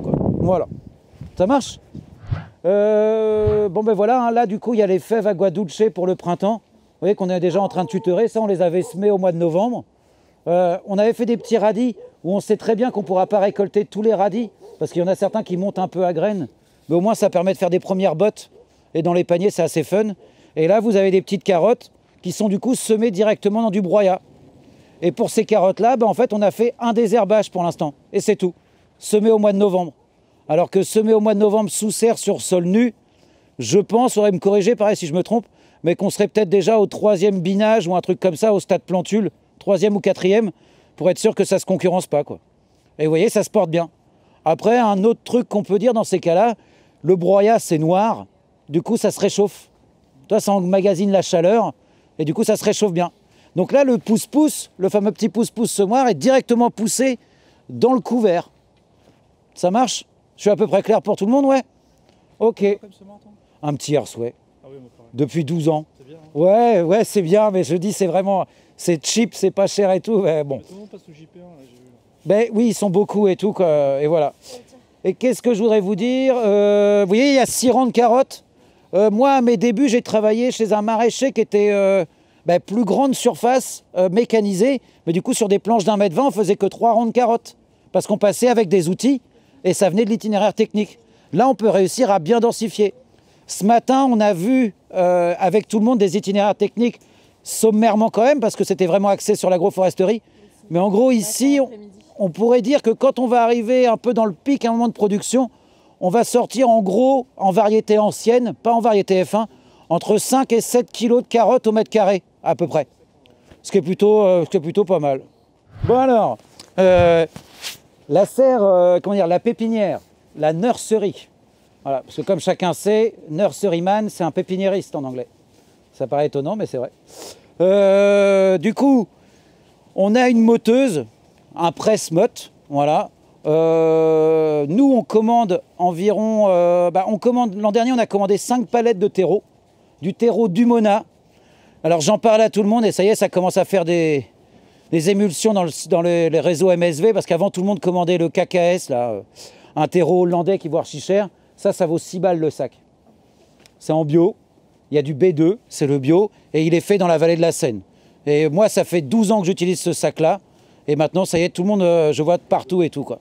On commande 5 palettes, mais là, il nous en reste en gros une palette et demie, qui est là-bas sur l'air de lavage et tout. Quoi. Donc en gros, on en a consommé 3,5 euh, à peu près sur la saison. Euh, on ne fait pas tout notre plan, parce que le chemin le plus court, c'est celui de la vérité. On achète la porette, on achète donc les jeunes poireaux, on achète 5000 Tardorna, 5000 Atlanta, on achète les plants de patates, on achète la moitié de notre échalote et la moitié de notre ail, qu'on replante, hein, bien évidemment, hein, mais voilà. Et euh, des bulbilles d'oignons jaunes et d'oignons rouges. On achète 25 kg de bulbilles jaunes et 25 kg de bulbilles rouges. Et après, on fait des oignons en semis, en motte. Voilà. Après, tout le reste, ben, c'est nous-mêmes qui faisons les semis. Mais j'ai pas dit qu'on faisait toute la reproduction de semences. On reproduit les semences de tomates, ça c'est vrai. On reproduit des semences de certains piments, de certains poivrons, aubergines, ça peut arriver. Euh, qu'est-ce que, j'ai déjà fait? Les fèves et ainsi de suite et tout, mais pas forcément chaque année sur les autres trucs. Et on rachète les semences. Voilà. Euh, donc ici, et eh ben là, en gros, il y a une table, même pas une table et demie. En gros, on va dire qu'il y a à peu près 10-15 mètres de table de réquisitionner. Vous venez en avril, moi je pense, hein, avril, euh, avril, mai. là, il y en a, mais partout. Et en fait, on n'arrête pas d'en planter, d'en remettre, d'en planter, d'en remettre, d'en planter, d'en remettre. Quand on utilise cette machine pour préparer nos petites mottes de terreau, nous en fait on fait à coup de 50 voire 80 plateaux et qu'on stocke après dans la pièce de stockage. Et comme ça en fait on peut les stocker longtemps. Et non. Et Louise en fait elle a appris ça à Cahors parce que Louise avant qu'on devienne associés en couple, elle a travaillé comme ouvrière maraîchère dans des belles structures et tout quoi. Et eux carrément là-bas du côté de Cahors, ils faisaient euh, deux palettes complètes de mottes qui filmaient et qui laissaient sous serre et ça séchait pas. Ouais. Ah ouais, non mais là, es là, tu fais ah ouais, ok quoi. Et donc en fait, nous, quand on la met en route cette machine, on en fait des grandes tournées. Comme ça, on y passe une demi-journée et après on stocke. Et comme ça, après, quand on en a besoin, on sort les plateaux et voilà. Et en fait, on sait avec nos itinéraires, par exemple, qu'avec quatre plateaux de 144 mottes, on fait une planche de 40 mètres. Voilà. On a en fait, on a tous nos petits trucs comme ça. Alors, il y a des années, tu fais quatre plateaux, tu as tes quatre plateaux nickel, tu plantes. Là, l'an dernier, vu qu'on avait pas mal de prédation avec différents trucs, compagnons et tout, maintenant on fait 5 plateaux pour une planche. Comme ça, on a le petit coefficient de perte, voyez-vous. Et, euh, et, donc ça, voilà. Donc en gros, on met la moteuse en route, on remplit les plateaux. Après, ici, je mets souvent une planche avec des tréteaux. En gros, on enfourne les mottes. Après, ça part sur les tables derrière vous qui sont à hauteur. Et euh, du coup, on sème à hauteur et après, on met sur le petit chariot et ça part sur les tables. Pour essayer de manipuler le moins possible. Voilà. Qu'est-ce que je pourrais vous dire d'autre? On a une table sur 15 mètres, je pense, qui, euh, qui a un fil chauffant. qui a deux fils chauffants. Juste deux? Ouais, y a, en fait, il y a quatre fils, quoi, du coup. C'est quoi, du coup, écartement 10 cm C'est en serpentin, euh, je pense que, ouais, ou, 20, un truc comme ça, ouais, 20 cm, je pense. Et euh, après, tous les soirs, on remet des P17 et par-dessus, on remet aussi des films plastiques pour vraiment les garder au chaud. Voilà, ça fonctionne très bien.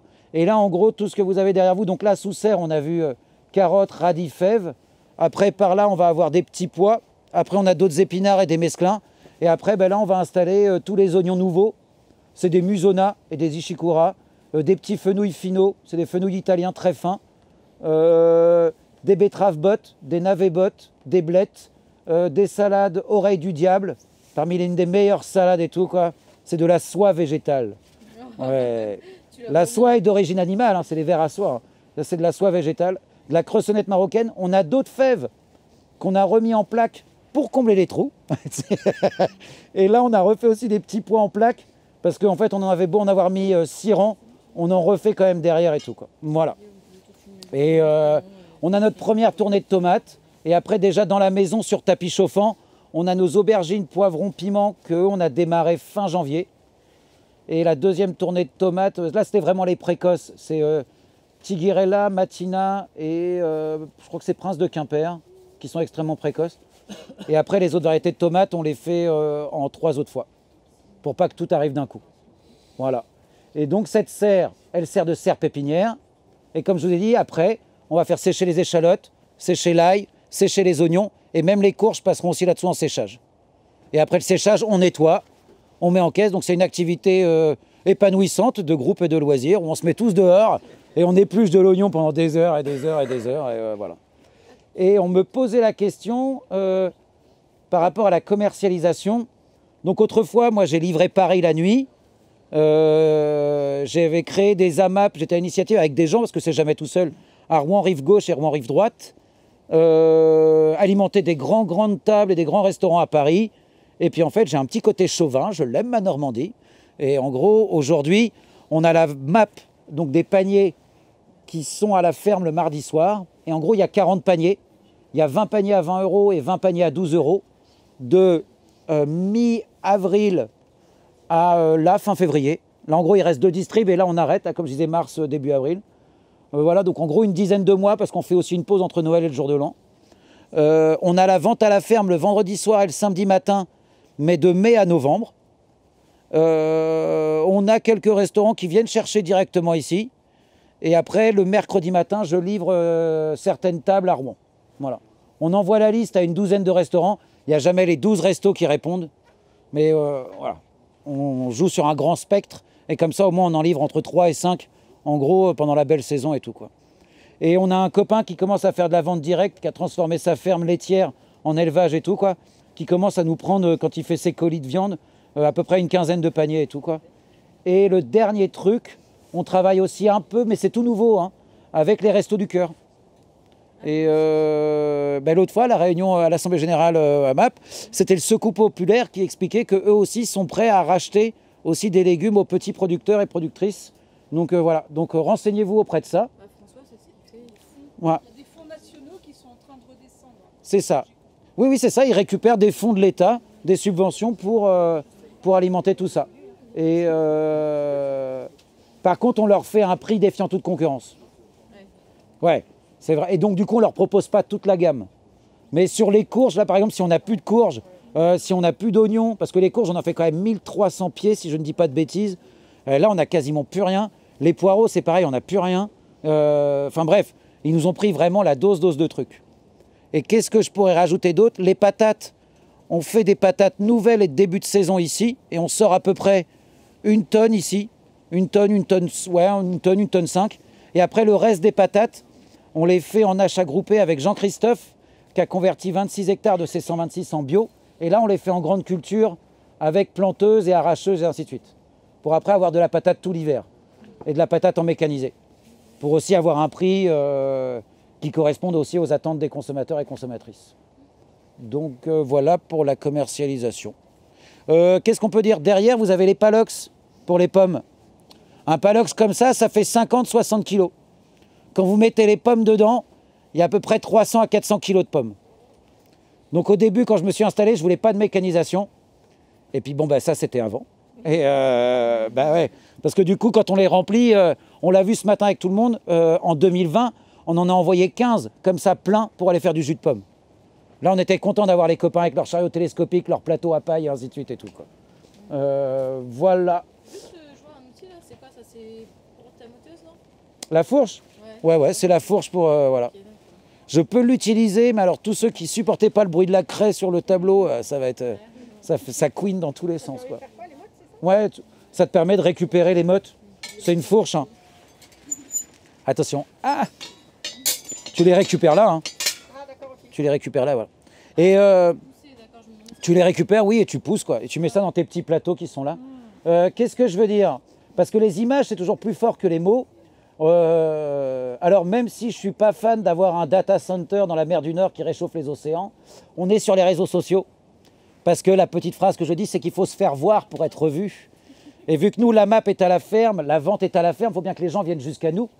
Après, vous pouvez faire le choix d'aller vers les gens, donc vers les marchés. Mais euh, voilà, nous, on a fait ce choix-là.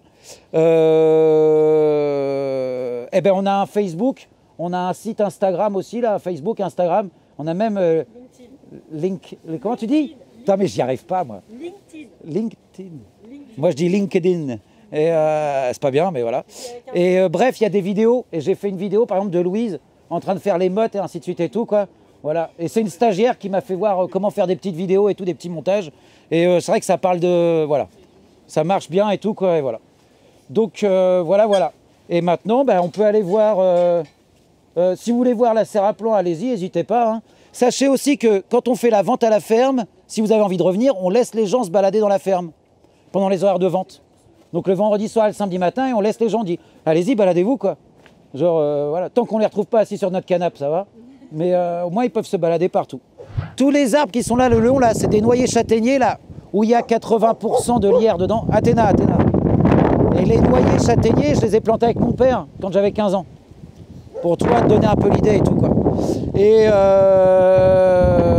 non, et voilà. Et après, ben, la zone qui est derrière vous va être entièrement destinée aux plantes aromatiques et médicinales. Voilà. Là, il y a quelques petites planches qui sont là. Il y a deux autres planches à côté et tout. Et en fait, c'est quelque chose qu'on veut développer absolument avec Louise. Donc, on a fait un séchoir avec 42 tiroirs d'un mètre carré pour faire sécher les plantes aromatiques. Louise a fait une formation de deux ans par correspondance avec l'ARH, c'est l'association du Athéna, du renouveau de l'herboristerie. Et euh, pourquoi on n'a pas plus encore développé l'atelier plantes aromatiques? Bah, En fait, on a eu un petit bébé. Enfin, on a eu oui, je suis dans le crew, mais c'est quand même plus Louise que moi. Et euh, du coup, une grossesse, euh, un accouchement, un allaitement. Donc là, voilà. Et là, cette année, on a dit qu'on replantait vraiment plein de plantes aromatiques et médicinales pour faire des sachets de tisane et ainsi de suite.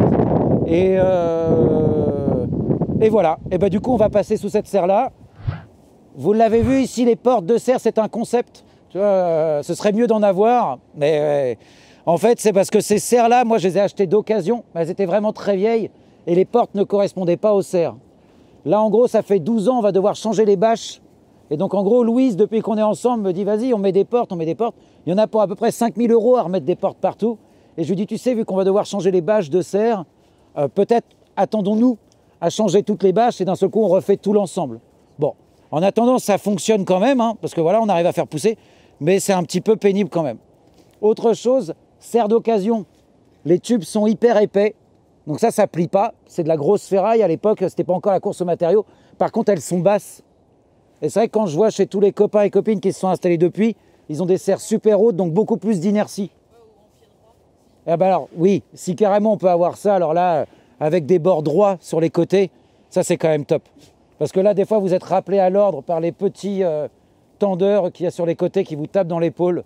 Mais, euh, voilà. Et euh, bref, là, comme ça, on va pouvoir continuer par là puis après aller dehors et puis euh, et puis voilà. C'est quoi Edouard Juste euh, là je vois enfin je vois il y a des ligneux là? C'est de la verveine citron ça. C'est des petits pieds de verveine citron. Autrefois il y avait des aromatiques partout sur le long mais ça a un peu disparu. Et là on aimerait bien mettre en fait du curcuma et du gingembre sur les bords. En fait on a vu ça chez plein de gens. Ben ouais tu vois. on s'inspire tous des uns et des autres. Hein. Ça marche bien puis j'aime bien en manger alors euh, voilà. Hop. Bon en gros là c'est pareil, on voit pas forcément des masses, mais euh, c'est toute une serre à mesclins en fait. Là-dedans, il n'y a que des petits mesclins et tout là-dessous, quoi. Et puis, euh, puis voilà, quoi, des choses qu'on va pouvoir retirer d'ici euh, avril, un truc comme ça, mars-avril. Ah, parce que tiens, on en parlait, pourquoi c'est recouvert d'un filet anti-insectes? C'est pas pour les insectes, c'est pour certains petits mammifères, c'est pour les lapins. Ouais, on a une problématique lapin qu'on n'avait pas avant. Euh, et, du coup, les filets anti-insectes peuvent servir aussi contre les lapins. Ouais. Bon, je vais pas. Vous regardez, mais il n'y a pas forcément grand chose à voir. Hein. Enfin, tu as des mesclins là-dessous. Il y a du cresson, il y a de la roquette, il y a du pourpier. Euh, il y a aussi une autre planche d'épinards. Et puis voilà. Les épinards, on en fait à, partir de. On en repique à partir de fin août. Ce qui fait qu'on arrive à en avoir à la vente dès fin octobre, un truc comme ça. Tout le mois de novembre, on arrive à mettre des épinards. Et, euh, et après, on en replante comme ça plusieurs tournées et tout. Quoi. À chaque fois, on fait toujours tout un peu en plusieurs tournées, histoire d'en avoir tout le temps un petit peu. Et là, je vois tes arbres, ils sont hyper rapprochés là pour le coup. Ouais. Et ça le fait ou? Non. Cela, en fait, si ça le fait dans le sens, ils produisent et ainsi de suite et tout quoi. on arrive. Là, c'était les patates, donc euh, ça l'avait fait quoi. Sur les radis, c'était beaucoup plus problématique. Mais ça, c'était pareil, c'était un lot d'arbres que Monsieur Drouet voulait pas me vendre. Et d'ailleurs, il me l'avait filé, c'était des mini arbres et tout machin. Et en fait, à terme, moi, je veux les, euh, je veux les dégager. Et c'est pareil, c'est toujours en discussion parce que bah, je ne suis pas tout seul ici. Mmh. Euh, et si ça ne tenait qu'à moi, je les arracherais, je les enlèverais. Et Louise me dit, oh, quand même. Et bon. Et donc, du coup, ce sera un peu une discussion de regreffer ces arbres-là. Donc, c'est vrai que ce matin, on en parlait avec euh, les ah, gens en sol. parce que la variété ne convient pas ou... Oui, puis pour leur redonner un port un peu qui récupère un peu quelque chose, quoi, parce que là, ils sont vraiment, vraiment moches, ceux-là. Et, euh, et en gros, on peut regreffer des très gros arbres. Voilà. Jusqu'à 30 cm. Jusqu'à, ouais, mais ouais, voilà, des, vraiment des trucs qui ont des troncs comme ça. Euh, Mathias André, là, qui taille ici, là, qui a 26 ans ou 29 ans de métier, il va vous refaire des incisions de chaque côté de l'arbre, il va remettre des greffons, et une fois qu'ils sont repartis, il coupera la tête. Et donc on peut même regreffer des gros trucs. Oh, il coupe, euh, la... Ben, j'ai déjà vu les deux. La tête aussi des fois, et il regreffe en couronne. Donc euh, c'est assez déstabilisant, mais c'est possible. Quoi. Donc des fois, euh, même sur des variétés qui ne vous plairaient pas, eh ben, vous pourriez toujours recouper et regreffer dessus. Même regreffer plusieurs variétés des fois sur le même. Alors pas euh, un kiwi, un cerisier, un pommier sur le même arbre, quoi. mais, mais voilà. Et, tes kiwis oui. Tes kiwis, je sais plus, tu m'avais dit, ils fournissent ou pas Les kiwis, ils commencent parce qu'on les a palissés. Avant, ils n'étaient pas palissés.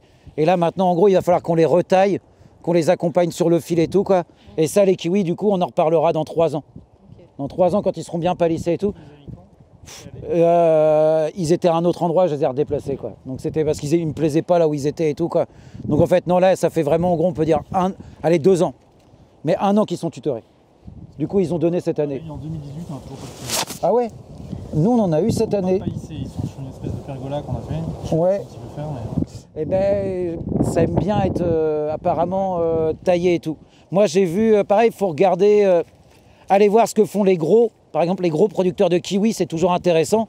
leur tutorage, d'ailleurs, Mathias, c'est ce qu'il m'a dit. Il m'a dit, en gros, il faudrait les, les tutorer comme une étante à linge. Vous voyez ce que je veux dire en T Et en gros, vous avez vraiment vos poteaux avec le, truc qui est là, ce qui fait que tous vos kiwis sont à portée de main, là, à 1m60, 1m70.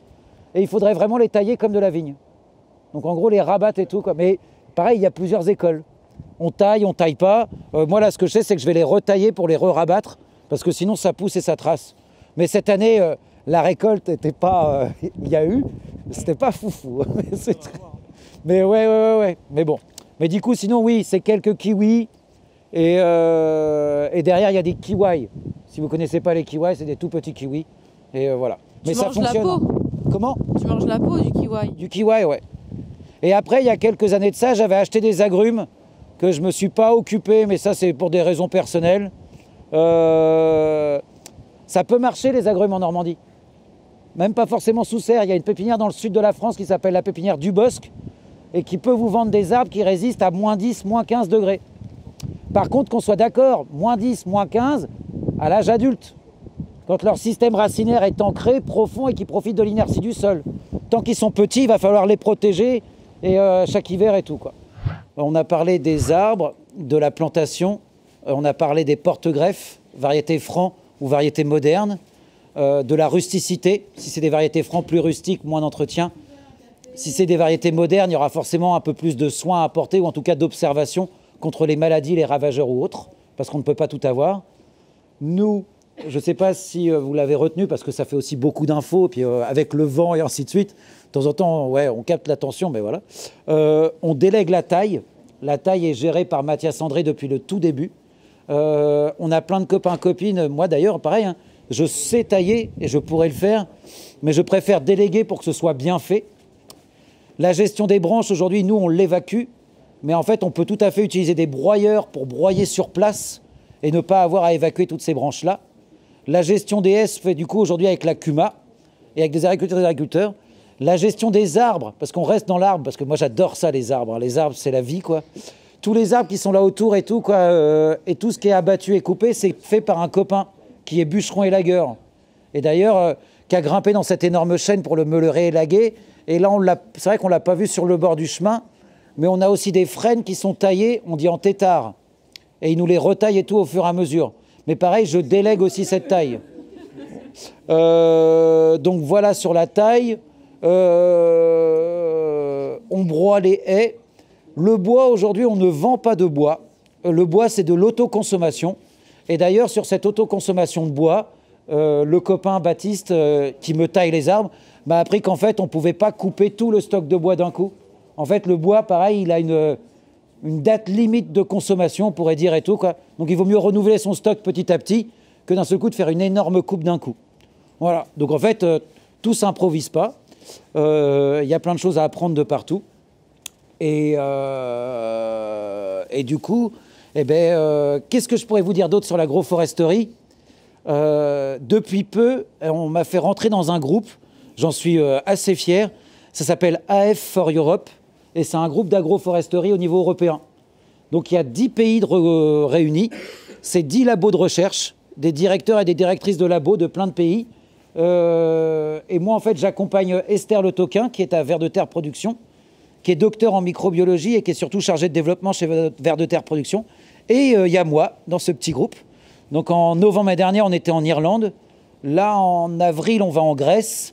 Et c'est pour discuter des questions d'agroforesterie au niveau européen. Donc avant, ça s'appelait Affinette. Ça a toujours existé. La démarche avant de l'agroforesterie avait été de prouver les externalités positives au niveau de la biodiversité, de la régénération d'écosystèmes, c'est bien. Mais si on veut influencer les pouvoirs publics, et les politiques, il faut leur faire voir la rentabilité qu'il y a derrière aussi. Donc là, aujourd'hui, c'est vraiment faire voir la rentabilité. Euh, et si ce n'est pas une rentabilité accrue, c'est au moins comment ça vous fait descendre les charges ou baisser les charges dans des systèmes agricoles. C'est-à-dire qu'en fait, il y a vraiment une résilience euh, au niveau de la régénération du sol, au niveau euh, de l'érosion, donc de conserver encore une fois les sols, et après au niveau de la valorisation du bois. Donc sachez qu'il y a plein de gens qui en parlent de partout et qui réfléchissent à ça. Et en fait, l'arbre vraiment redevient central. Je sais qu'à la Révolution verte, on a fait raser les haies à tour de bras. Ben, aujourd'hui, on fait planter des haies, euh, peut-être pas à tour de bras, mais petit à petit et tout. Quoi. Et vous pouvez vous faire financer des plantations avec plein d'organismes aujourd'hui. Euh, il existe euh, Arbre d'avenir avec Ferme d'avenir. il existe des enfants et des arbres. Marie-France Barbier qui était venue ici, qui finance la plantation d'arbres. Arbre d'avenir, c'était avec Ferme d'avenir. À un moment, ils finançaient la plantation d'arbres aussi. Euh, moi, il y a un gars que je connais qui s'appelle euh, Tristan Lecomte, et ça s'appelle Pure Project. excusez mon anglais. Alors, c'est de la thune qu'ils vont chercher au niveau de très gros mécènes, hein. L'Oréal, euh, et ainsi de suite et tout, quoi, mais qui vous accompagnent dans votre plantation et qui vous payent ça. si vous êtes en basse Normandie, sachez que l'agence de l'eau vous paye la plantation de haies de A à Z. Ils vous payent les arbres, ils vous payent les filets de protection, ils vous payent les, euh, les toiles tissées, le paillage, et ils plantent même les arbres. Waouh, là, tu es là, tu dis, bon, ok, quoi. Après, y a, localement, tu as aussi même des trucs, euh, ils appellent ça 10 euh, 000, le plan 10 000, et du coup, c'est 10 000 arbres qui sont. Alors, ils prennent pas tout en charge, mais en tout cas, ils te fournissent des arbres pour 70 centimes. Ouais, donc déjà, c'est déjà, bien aussi. C'est pas mal, c'est les communautés d'agglo qui font ça aussi. Ok. Après, t'as la chambre, la fédé de chasse. Oui, l'ONCFS, complètement. Non, non, non, la fédé de chasse. Ah, les fédérations de chasse Ouais. Bassin versant, ouais, il euh, y en a plein. Et euh, nous, on a un copain avec qui on fait les pommes de terre, Jean-Christophe. Euh, lui, donc, il est polyculteur éleveur. Et en fait, on l'a aidé à planter 2000 arbres sur les 26 hectares. Donc de l'agroforesterie céréalière. Et là, derrière Bourteroude. Donc en gros, entre Bourteroude et le Neubourg, s'il commence à y avoir des agriculteurs qui replantent des qui mettent des arbres dans les céréales et ainsi de suite, c'est. Comment dire Ça va se faire petit à petit. Parce que moi, j'ai déjà des gens de ma famille qui sont céréaliers et tout. Ils m'ont dit, Edouard, je suis pas contre. Mais euh, je préférais que ce soit d'abord le voisin avant moi. Parce que les gens n'ont pas forcément envie d'être montrés du doigt et ainsi de suite et tout. Quoi. Donc en tout cas, il y a plein de choses. Et lui s'est fait financer avec euh, les plans petit investissement. Et donc il a récupéré 40% de son investissement. Il y a même là en ce moment euh, un autre truc, euh, c'est enfin, plutôt pour les, ceux qui vont replanter euh, beaucoup et qui ont des grosses structures, mais euh, tu as aussi via la chambre une aide aussi qui te permet aussi d'investir dans du gros matériel. C'est-à-dire que si tu plantes un certain linéaire, faut que ce soit un certain linéaire par rapport à ta surface, tu as le droit à, je sais plus, 40 000 euros pour investir dans un bâtiment ou du matériel, des choses comme ça. Trop bien. Ça c'est pas mal aussi. Donc, euh, donc voilà. Est-ce que vous avez des questions par rapport à tout ça? Ou est-ce que oui, vas-y. Est-ce qu'il euh, peut y avoir des problèmes de concurrence entre euh, les différentes haies, les, enfin, tout ce qui est verger et les cultures maraîchères? Ah bah alors, est-ce qu'il y a une concurrence du coup entre les haies et les cultures maraîchères? Peut-être qu'on a entendu la question, sais, je répète, hein, je ne suis pas complètement fou. Euh, ça ferait bizarre, hein. c'est presque gênant hein, comme situation, mais je suis obligé de le faire. Euh, et eh ben en fait, c'est pour ça qu'il y a de l'entretien. Par exemple, tu vois, les haies, euh, ce matin, j'ai fait voir aussi des photos d'un copain, un couple d'amis d'ailleurs, David et Marianne. Ils sont viticulteurs, ils font de la vitiforesterie. Eux, ils rajoutent aussi des arbres aujourd'hui dans la vigne. Il y a plein de domaines qui font ça. Et ils mettent aussi les haies, euh, mais à côté des chemins. Tu vois, par exemple, nous, pareil, il y a la haie et il y a un chemin d'accès. La haie n'est pas non plus côté, collée euh, aux légumes. Il y a ce qu'on appelle un effet bordure. C'est vraiment le terme technique. Où en gros, tu peux avoir une gêne euh, au pied de la haie, mais après, souvent avec un effet bénéfique un peu plus loin. Parce que par exemple, les auxiliaires utilisent les arbres pour grimper et comme une piste de décollage arrive beaucoup plus loin. Et donc, il y, a un, effet de prédation plus loin et tout. Quoi. Euh, donc, il peut y avoir ça. Nous, ici, concrètement, avec la taille, l'entretien, euh, le contexte pédoclimatique, donc le sol profond et ainsi de suite et tout, quoi. Le fait, et d'ailleurs, c'est Victor qui avait posé la question ce matin, qu'en gros, on a. Euh, mince, comment tu m'as dit le terme? Cerné. On a cerné. C'est vrai que les premières années, moi, je travaillais le sol. Aussi, j'ai utilisé la charrue au moins pendant 2-3 ans. Et on a des copains et copines qui utilisent non pas un vibroculteur, donc comme nous, un petit Canadien, mais un cultivateur des plus grosses dents pour aller passer auprès des arbres les premières années pour sectionner les racines et les inciter à descendre. On peut mettre toutes ces choses-là en place. Euh, le choix variétal va être hyper important par rapport à votre sol et aussi à votre souhait de commercialisation. Mais en gros, euh, alors pareil, hein, moi je ne sais pas tout, mais je sais que par exemple ici les prunus ou les variétés de prunus d'avant, en tout cas prunier, cerisier, ouais, ça a tendance à faire des racines qui courent en surface. Donc ils viendront toujours. Tu auras beau les sectionner, ils auront tendance. Alors l'autre fois quelqu'un quand j'ai dit ça m'a dit non, il y a des variétés maintenant modernes qui descendent.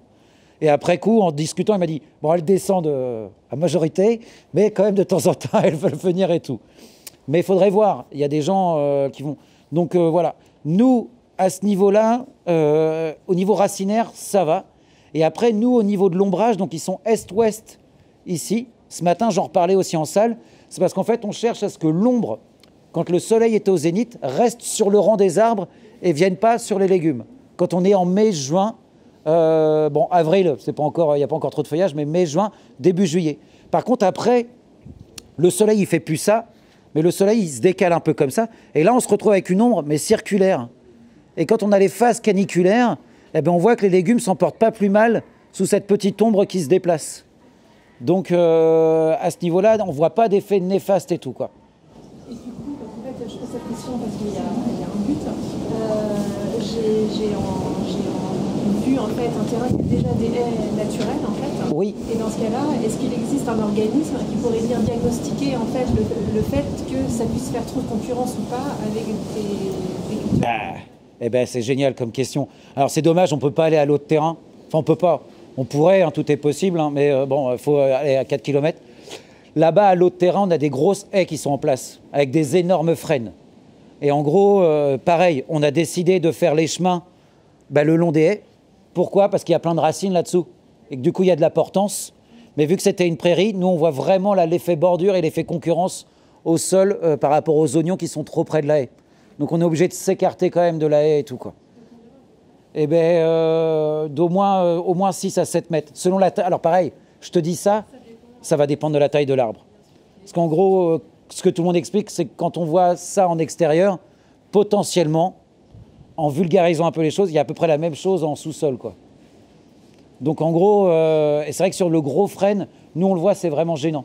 Après, il y a des sureaux et des machins, il y a vraiment moins de, moins de gêne, mais vraiment au pied du gros frêne, euh, ça c'est gênant. Et, cette remarque, elle est bien, mais parce que je ne sais pas si avec vous j'en ai parlé, j'en ai parlé avec ce matin le groupe, je deviens un peu fada, parce que tu vois, je me répète et tout, désolé hein, pour les autres. Mais euh, installer des légumes, par exemple, sur un ancien verger, qui aurait été là depuis des dizaines et des dizaines et des dizaines d'années, ça va peut-être être problématique. Parce que si c'était un pré-verger, les arbres se sont enracinés et ont pris la place disponible. Mais si vous allez essayer de me mettre des légumes là-dessous, vous n'arriverez peut-être pas à densifier autant que nous. Parce que nous, on a accompagné les choses dès le début. Et donc, on a taillé entretenu et du coup accompagné, je me répète, mais dès le début. Donc ça, c'est vraiment à prendre en compte. Euh, voilà. Donc quand on arrive sur des, par exemple, le père de Louise, c'est des grandes parcelles céréalières, mais avec des énormes chaînes. C'est du bocage, hein, c'est dans le Berry. Euh, il a quand même un effet bordure euh, au pied des parce que les arbres sont énormes et tout quoi. Mais après, lui, il revoit plutôt un effet bénéfique un peu plus loin dans la parcelle. Oui, parce que tu as aussi l'effet euh, brise-vent, en fait. Donc, euh, du coup, euh, ça atténue. Tu as aussi l'effet tourbillon un peu plus loin, mais l'effet brisement, du coup, fait que bah, tu as aussi cet avantage-là sur tes, sur tes cultures. Hein. Mmh. tiens, allez, de quoi d'autre? Donc, j'ai parlé d'AF for Europe. Il y a pas mal de choses au niveau des vergers maraîchers. Là, moi, on m'a fait rentrer dans un autre groupe. Alors, pour l'instant, c'est pas officiel encore mais en fait, il y a tout un groupe qui se crée comme une sorte de réseau social, mais ils en parleront plus quand ce sera développé. C'est à la base, c'est développé par André Ziffert et François Warlop. Je ne sais pas si vous les connaissez, eux. C'est des gens qui sont à la base euh, en accompagnement avec l'INRAE sur la ferme de la Durette. La ferme de la Durette, c'est la ferme verger maraîcher à côté d'Avignon, qui dépend de l'INRA. Et, euh, en gros, bah, en fait, il y a plein de gens qui commencent à réinstaller des arbres dans les systèmes maraîchers et surtout dans le sud de la France parce qu'ils se rendent bien compte des bienfaits des arbres. Donc en fait, il y a vraiment tout un engouement pour ça. À eux, je leur ai demandé, je leur ai dit, mais combien y a-t-il de fermes vergers maraîchers là? Parce que, euh, gros, il commence à y en avoir de partout. Alors, elles ne sont pas toutes référencées, mais on est à plusieurs centaines en France. Après, moi, je lui ai demandé, ben, France métropolitaine. Si après, on parle de France euh, dom-tom et même pomme, pays d'outre-mer comme la Polynésie, là-bas, c'est vraiment ancré d'origine et tout, quoi. Parce que euh, les cultures étagées, système tropical.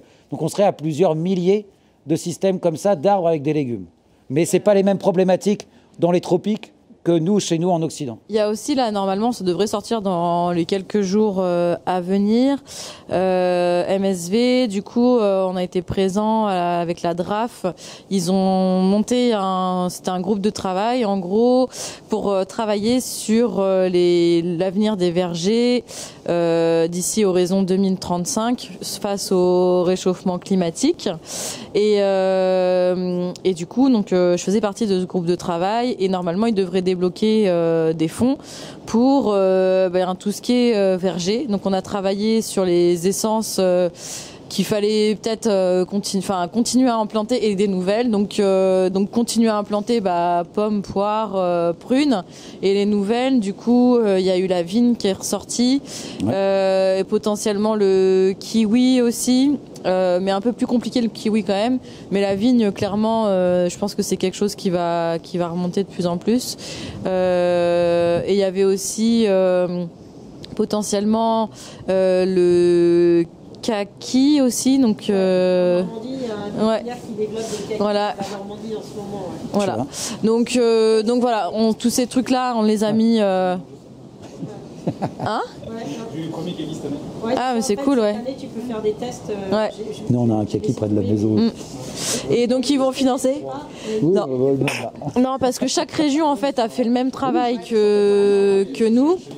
Et pour l'instant, ils n'ont pas encore euh, donné le, le, compte rendu. Mais par contre, en tout cas, il va y avoir, euh, ce sera annoncé normalement à la fin du salon de l'agriculture. Et euh, bah forcément, moi, vu que je travaille qu'avec des gens qui ont des petites surfaces, euh, j'ai milité entre guillemets pour que, eh bien, pour que ce soit pas une aide que pour les gros euh, vergers, mais que ce soit éligible à partir de, je crois que c'était 5000, non même pas, c'était 1000 mètres carrés. Euh, pour développer ça au, au, maximum. Et donc ça, ça financera aussi potentiellement euh, des protections, genre des filets, de l'irrigation, enfin mmh. voilà.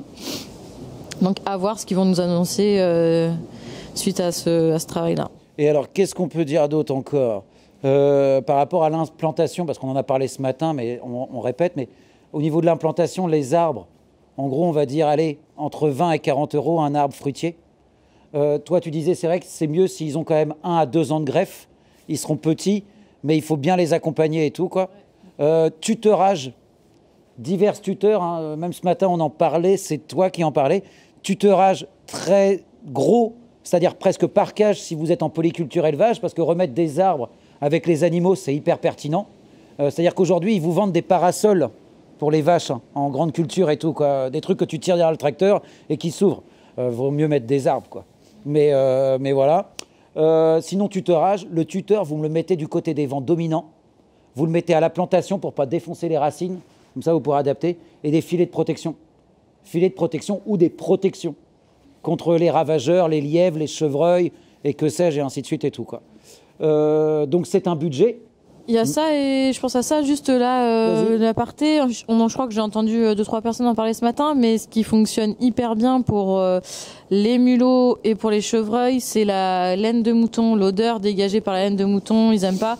Donc tu peux mettre une petite poignée de laine de mouton euh, dans la plantation? Dans la plantation et puis il y en a qui les accrochent carrément dessus pour plus les chevreuils, pour éviter qu'ils viennent se frotter les bois dessus.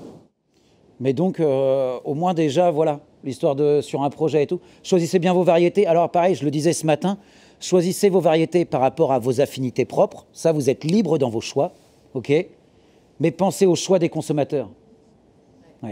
Parce que si on produit de la nourriture, c'est pour que les gens la mangent, donc que les gens l'achètent. Et ça, il n'y a rien de gênant à ça. Quoi. Je veux dire, euh, tout travail mérite salaire. Donc en gros, euh, des fois, on a vraiment des envies en mode je veux absolument faire ça, mais personne ne veut l'acheter. quoi. Euh, et, là, on n'a pas l'air un peu nigo, quoi. Donc, en gros, euh, des fois, alors pareil, je disais ce matin, je me répète, j'ai horreur de cette phrase, faut mettre de l'eau dans son vin. Ne faites surtout pas ça, mais, euh, mais faites-le quand même un peu. Enfin, c'est-à-dire, en gros, il y a des variétés de pommes que les gens adorent aujourd'hui. Melrose, cox orange ou quoi que ce soit, c'est des variétés appétantes. C'est du sucre, donc ils ont la pupille qui se dilate, c'est complètement addictif, mais, ça se vend. Peut-être, peut-être pas que ça, mais voilà. Sinon, sur la vigne, nous, euh, j'en parle parce qu'elle est, euh, elle est à la map, Axel. On a Axel Pied-Noël qui a planté tout un vignoble juste là à Bourrachard.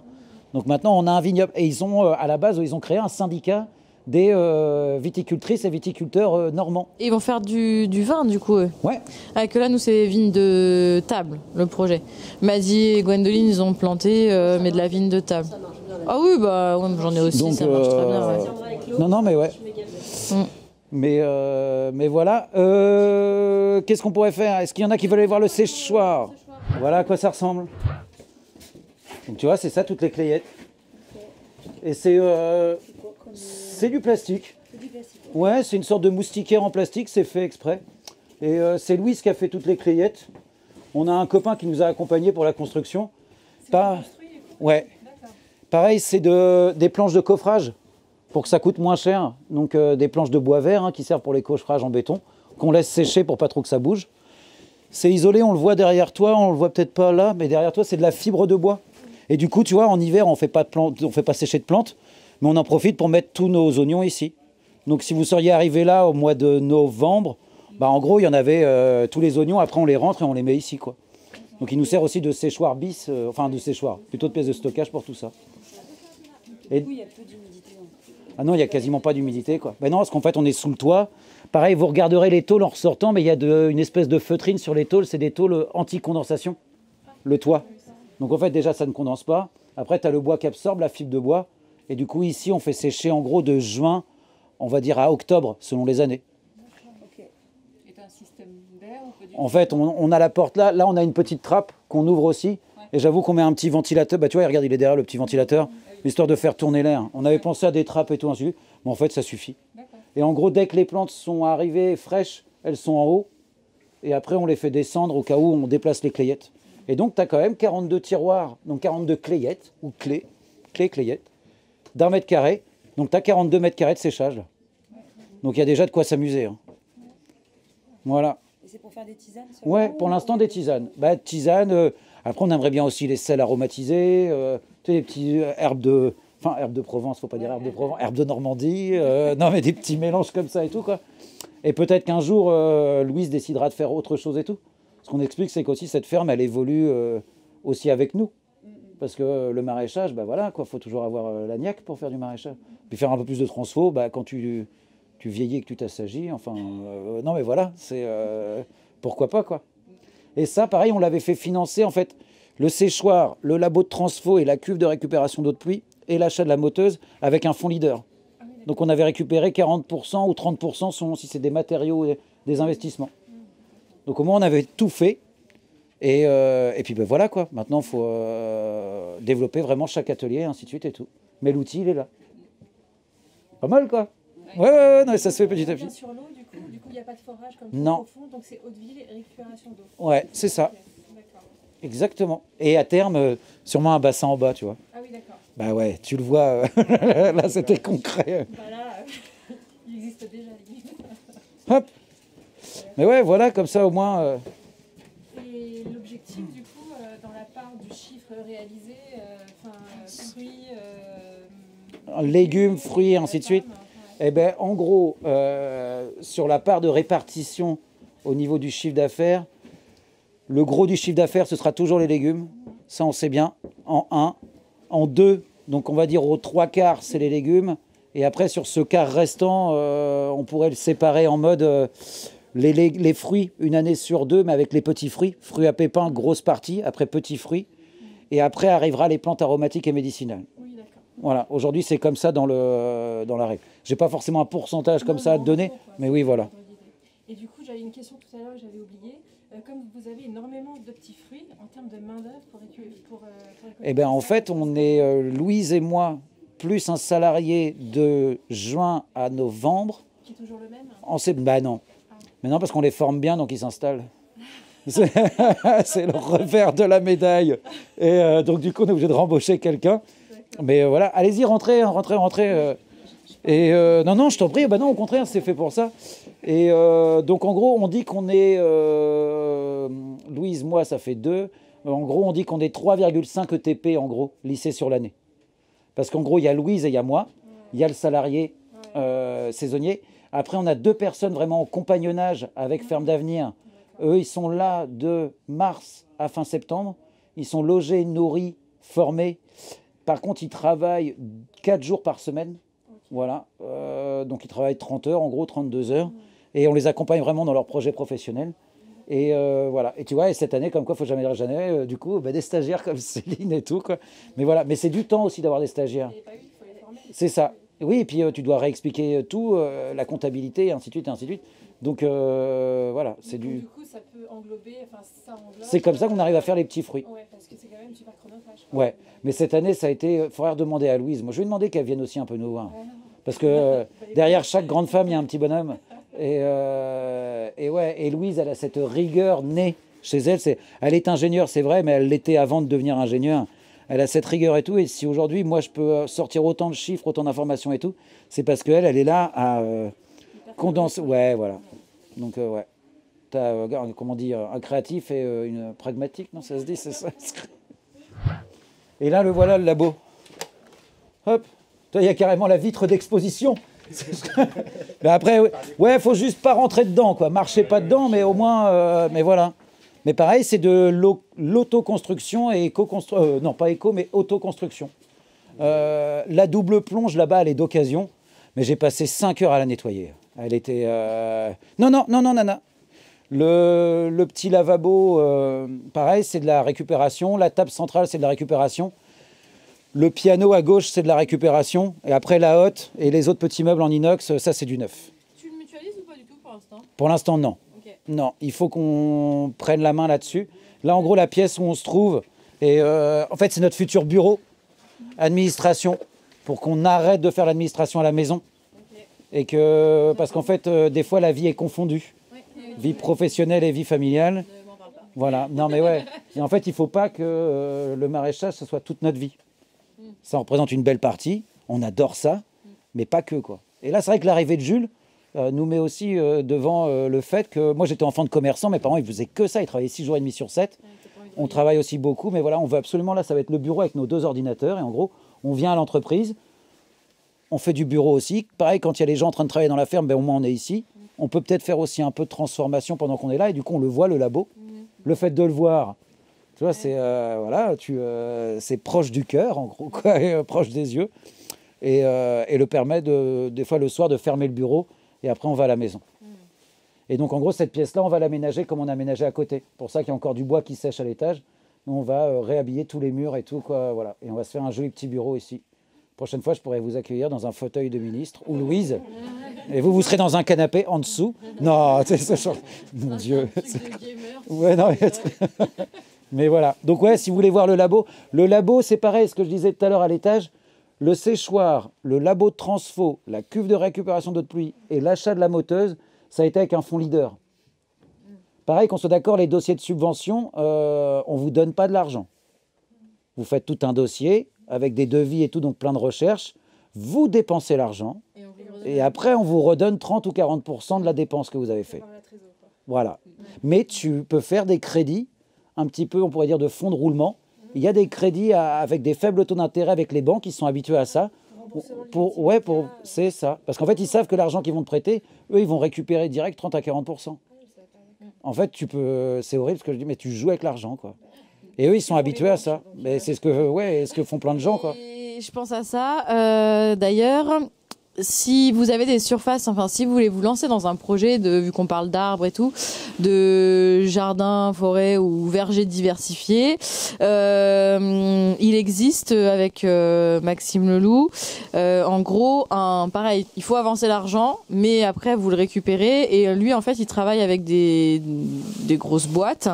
Euh, si vous plantez un hectare eh bien, le projet vous revient à, je crois qu'il faut payer, si je dis pas de bêtises, ça doit être, euh, c'est même pas 10%, je crois, de, de la somme.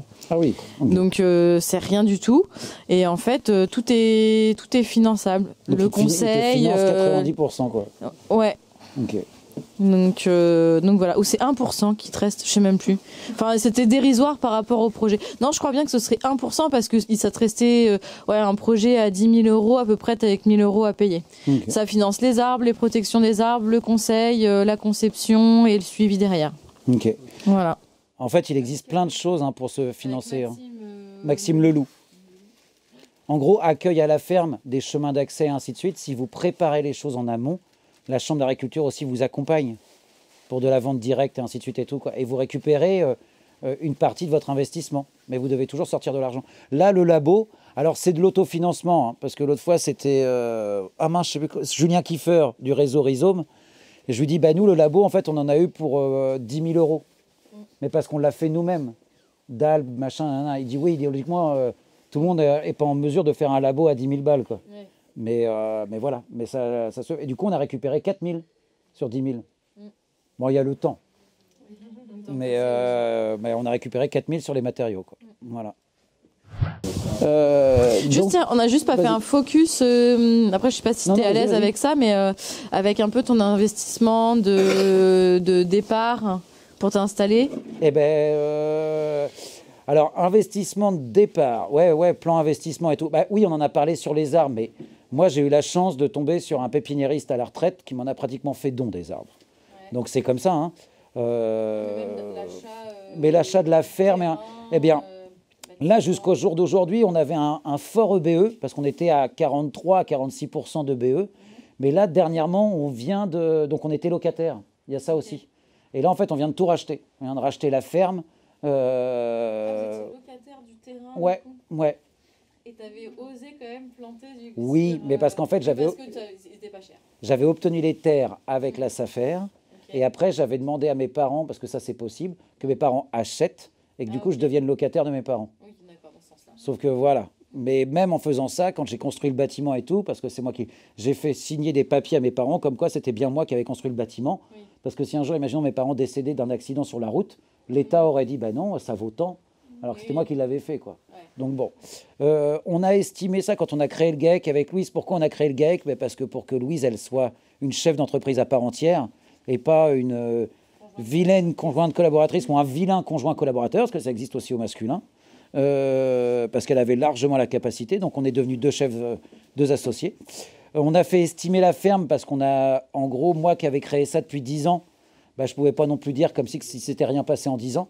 Donc là, la ferme, en gros, elle a été montée, estimée à 150 000 euros, en gros, pendant ces 10 à 12 ans et tout. Quoi. Mais parce qu'il y a beaucoup de choses qui ont été faites, voilà, qui ont été faites en autoconstruction et ainsi de suite et tout, autofinancement et tout. Quoi. moi, au démarrage, en gros, moi, j'avais 12 000 euros de côté parce que j'étais éducateur en environnement. Donc c'était des métiers, ils appellent ça euh, métier passion. Sauf que là, tu fais à la passion, ça a vachement bon goût. Quoi. C'est, euh, euh, bah, du coup, j'avais pas forcément beaucoup de sous de côté, mais après, une rage de vivre et puis d'envie de faire. Quoi. Donc j'ai réussi à faire ça petit à petit. Si c'était à refaire aujourd'hui, à chaque fois, c'est un peu les questions comme ça. Bah, tu vois, quand tu demandes aussi à mes parents si c'était à refaire votre vie, bah, évidemment qu'on ferait toujours un peu différemment. Mais en gros, si c'était à refaire, je serais peut-être passé quand même par des crédits. Tu vois, pas forcément gros, mais pour des fois faciliter un peu de mécanisation, un petit peu de manutention, parce qu'en fait, je le vois justement avec les gens qui sont passés par ici en stage et qui s'installent. Alors pareil, qui n'ont pas forcément le même âge à l'installation et qui n'ont pas la même assise financière en partant. Euh, il y a une phrase que mon père a toujours dit et que j'avais horreur quand j'étais plus jeune, c'était l'argent amène l'argent, Edouard. Et je faisais ah ça m'énerve et tout. J'avais pas cette phrase. Ah bah tu en fait tu te rends compte que quand même l'argent facilite quand même un peu les choses. Hein euh, quand je vois ceux qui avaient une certaine assise financière et qui avaient un certain pécule au démarrage et qui ont pu direct avoir l'irrigation, le machin et des grosses serres et tout, quoi, bah direct, as un retour sur investissement qui est plus rapide. Nous, ça s'est fait petit à petit. Louise, elle me dit, je sais pas comment tu as fait pour relever autant de défis en mode euh, avec 3 francs 6 sous et tout, quoi. Bah, tu fais, bah, ouais, bah, j'ai un peu mal dormi, puis j'ai un peu mal partout. Mais, euh, mais ça s'est fait. C'est vrai que du coup, des fois, des crédits comme ça, peut-être. Mais je voulais pas, moi, à l'époque, parce que je voulais pas être le salarié d'une banque ou en plus, enfin, du coup, l'esclave d'une banque. C'était des choix euh, humains, c'était comme ça. J'avais fait des financements participatifs, un qui avait très bien marché, un autre qui n'avait pas bien marché parce qu'on n'était plus du tout en fait en phase avec mon ancienne compagne. En gros, on était en, séparation déjà. À mon avis, on était séparés, je pense. Euh, du coup, ça avait complètement, comme ils disent au Québec, capoté. Et euh, donc, si vous faites des financements participatifs, c'est bien. Mais pareil, ça demande énormément d'investissement. Donc, euh, faut pas faire ça à la légère. Et euh, voilà. Mais ça marche aussi, quoi. Donc, franchement, financement participatif, plus après, pareil, quand je dis crédit, pas un énorme crédit, mais, euh, mais, euh, mais quand même, ouais, je pense une vingtaine de mille d'euros. Tu vois, avec mes 12 000 euros de côté, 20 000 euros de crédit. Et après, j'imagine, là, on avait récupéré, je crois, 24 000 euros du premier financement participatif. Ben là, tu te dis, tiens, en fait, ça fait un, petit pécule qui aurait été non négligeable, quoi. Aller chercher l'argent là où il est, chose que je voulais pas forcément. Comme je disais, la chambre d'agriculture pour des chemins d'accès, des parkings, si vous voulez faire de la vente directe, euh, elle est là-bas. Alors c'est le montage de dossier. Hein. Ça peut être un peu lourd, un peu gerbant, mais, euh, n'empêche que euh, bah, vous récupérez de l'argent sur vos investissements. Si vous achetez des bâches et des machins, les trucs petit investissement et tout ça, quoi, bah, ça se monte des dossiers comme ça, mais vous récupérez à chaque fois 40%. c'est non négligeable. Donc, donc voilà. Donc moi, en fait, j'ai démarré avec très peu de sous. C'est possible c'est faisable, euh, et on y arrive, et euh, on est indépendant, mais voilà.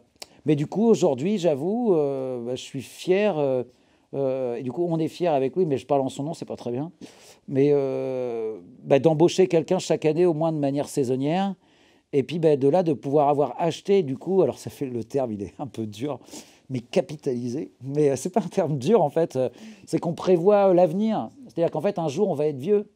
Et euh, qu'on le veuille ou non, ça fait partie de la vie, quoi.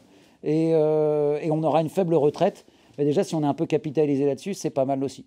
Donc là, du fait de tout ça, ça va jouer sur notre BE, les charges salariales et aussi euh, bah, le fait d'acheter. Parce que bah, du coup, bah, on emprunte de l'argent et tout. Quoi. Et là, c'est vrai qu'on a des copains-copines. À chaque fois, on regarde souvent le chiffre d'affaires et le BE. Mais par exemple, on a des copains-copines qui avaient une ancienne vie avant et qui avaient des métiers. Eh, c'était pas éducateur en environnement, quoi. Euh, et du coup, bah, ils ont pu acheter leur structure, leur terrain, le machin. Et toi, tu es là, tu fais waouh. Alors, mais faut pas envier les gens. C'est comme ça. Et c'est vrai que du coup, ils se retrouvent dans les... avec des EBE, mais genre énormes. Mais oui, mais parce qu'en fait, ils ont pu tout payer. Si tu empruntes, tu n'auras pas le même EBE. C'est pour ça qu'on dit toujours, il ne faut pas regarder le chiffre d'affaires, il faut regarder l'EBE, mais aussi essayer de regarder euh, ben un peu, oui, les gens, quelle assise ils avaient ou quoi que ce soit et tout. Quoi. Voilà. Donc, euh, est-ce que ça répond à peu près euh, Ok, trop bien. Qu'est-ce que je pourrais dire d'autre? Le parcours jeune agriculteur, nous, on n'est pas du tout contre. Au contraire. Euh, après, pareil, hein, c'est du vivre ensemble et tout. quoi. Ça doit dépendre aussi au niveau régional et départemental. Mais à la base, ils ne sont pas là pour être contre vous. Ils veulent juste que, logiquement, les gens aient bien défini leur projet, ainsi de suite et tout. Quoi. Il y a aussi de l'argent à la clé, des prêts bonifiés. Donc, c'est pas pas négligeable non plus, quoi. Et, euh, voilà, quoi. Bah, on va te remercier alors, du coup, Edouard. Bah, merci, à vous. Hein. merci. Ouais.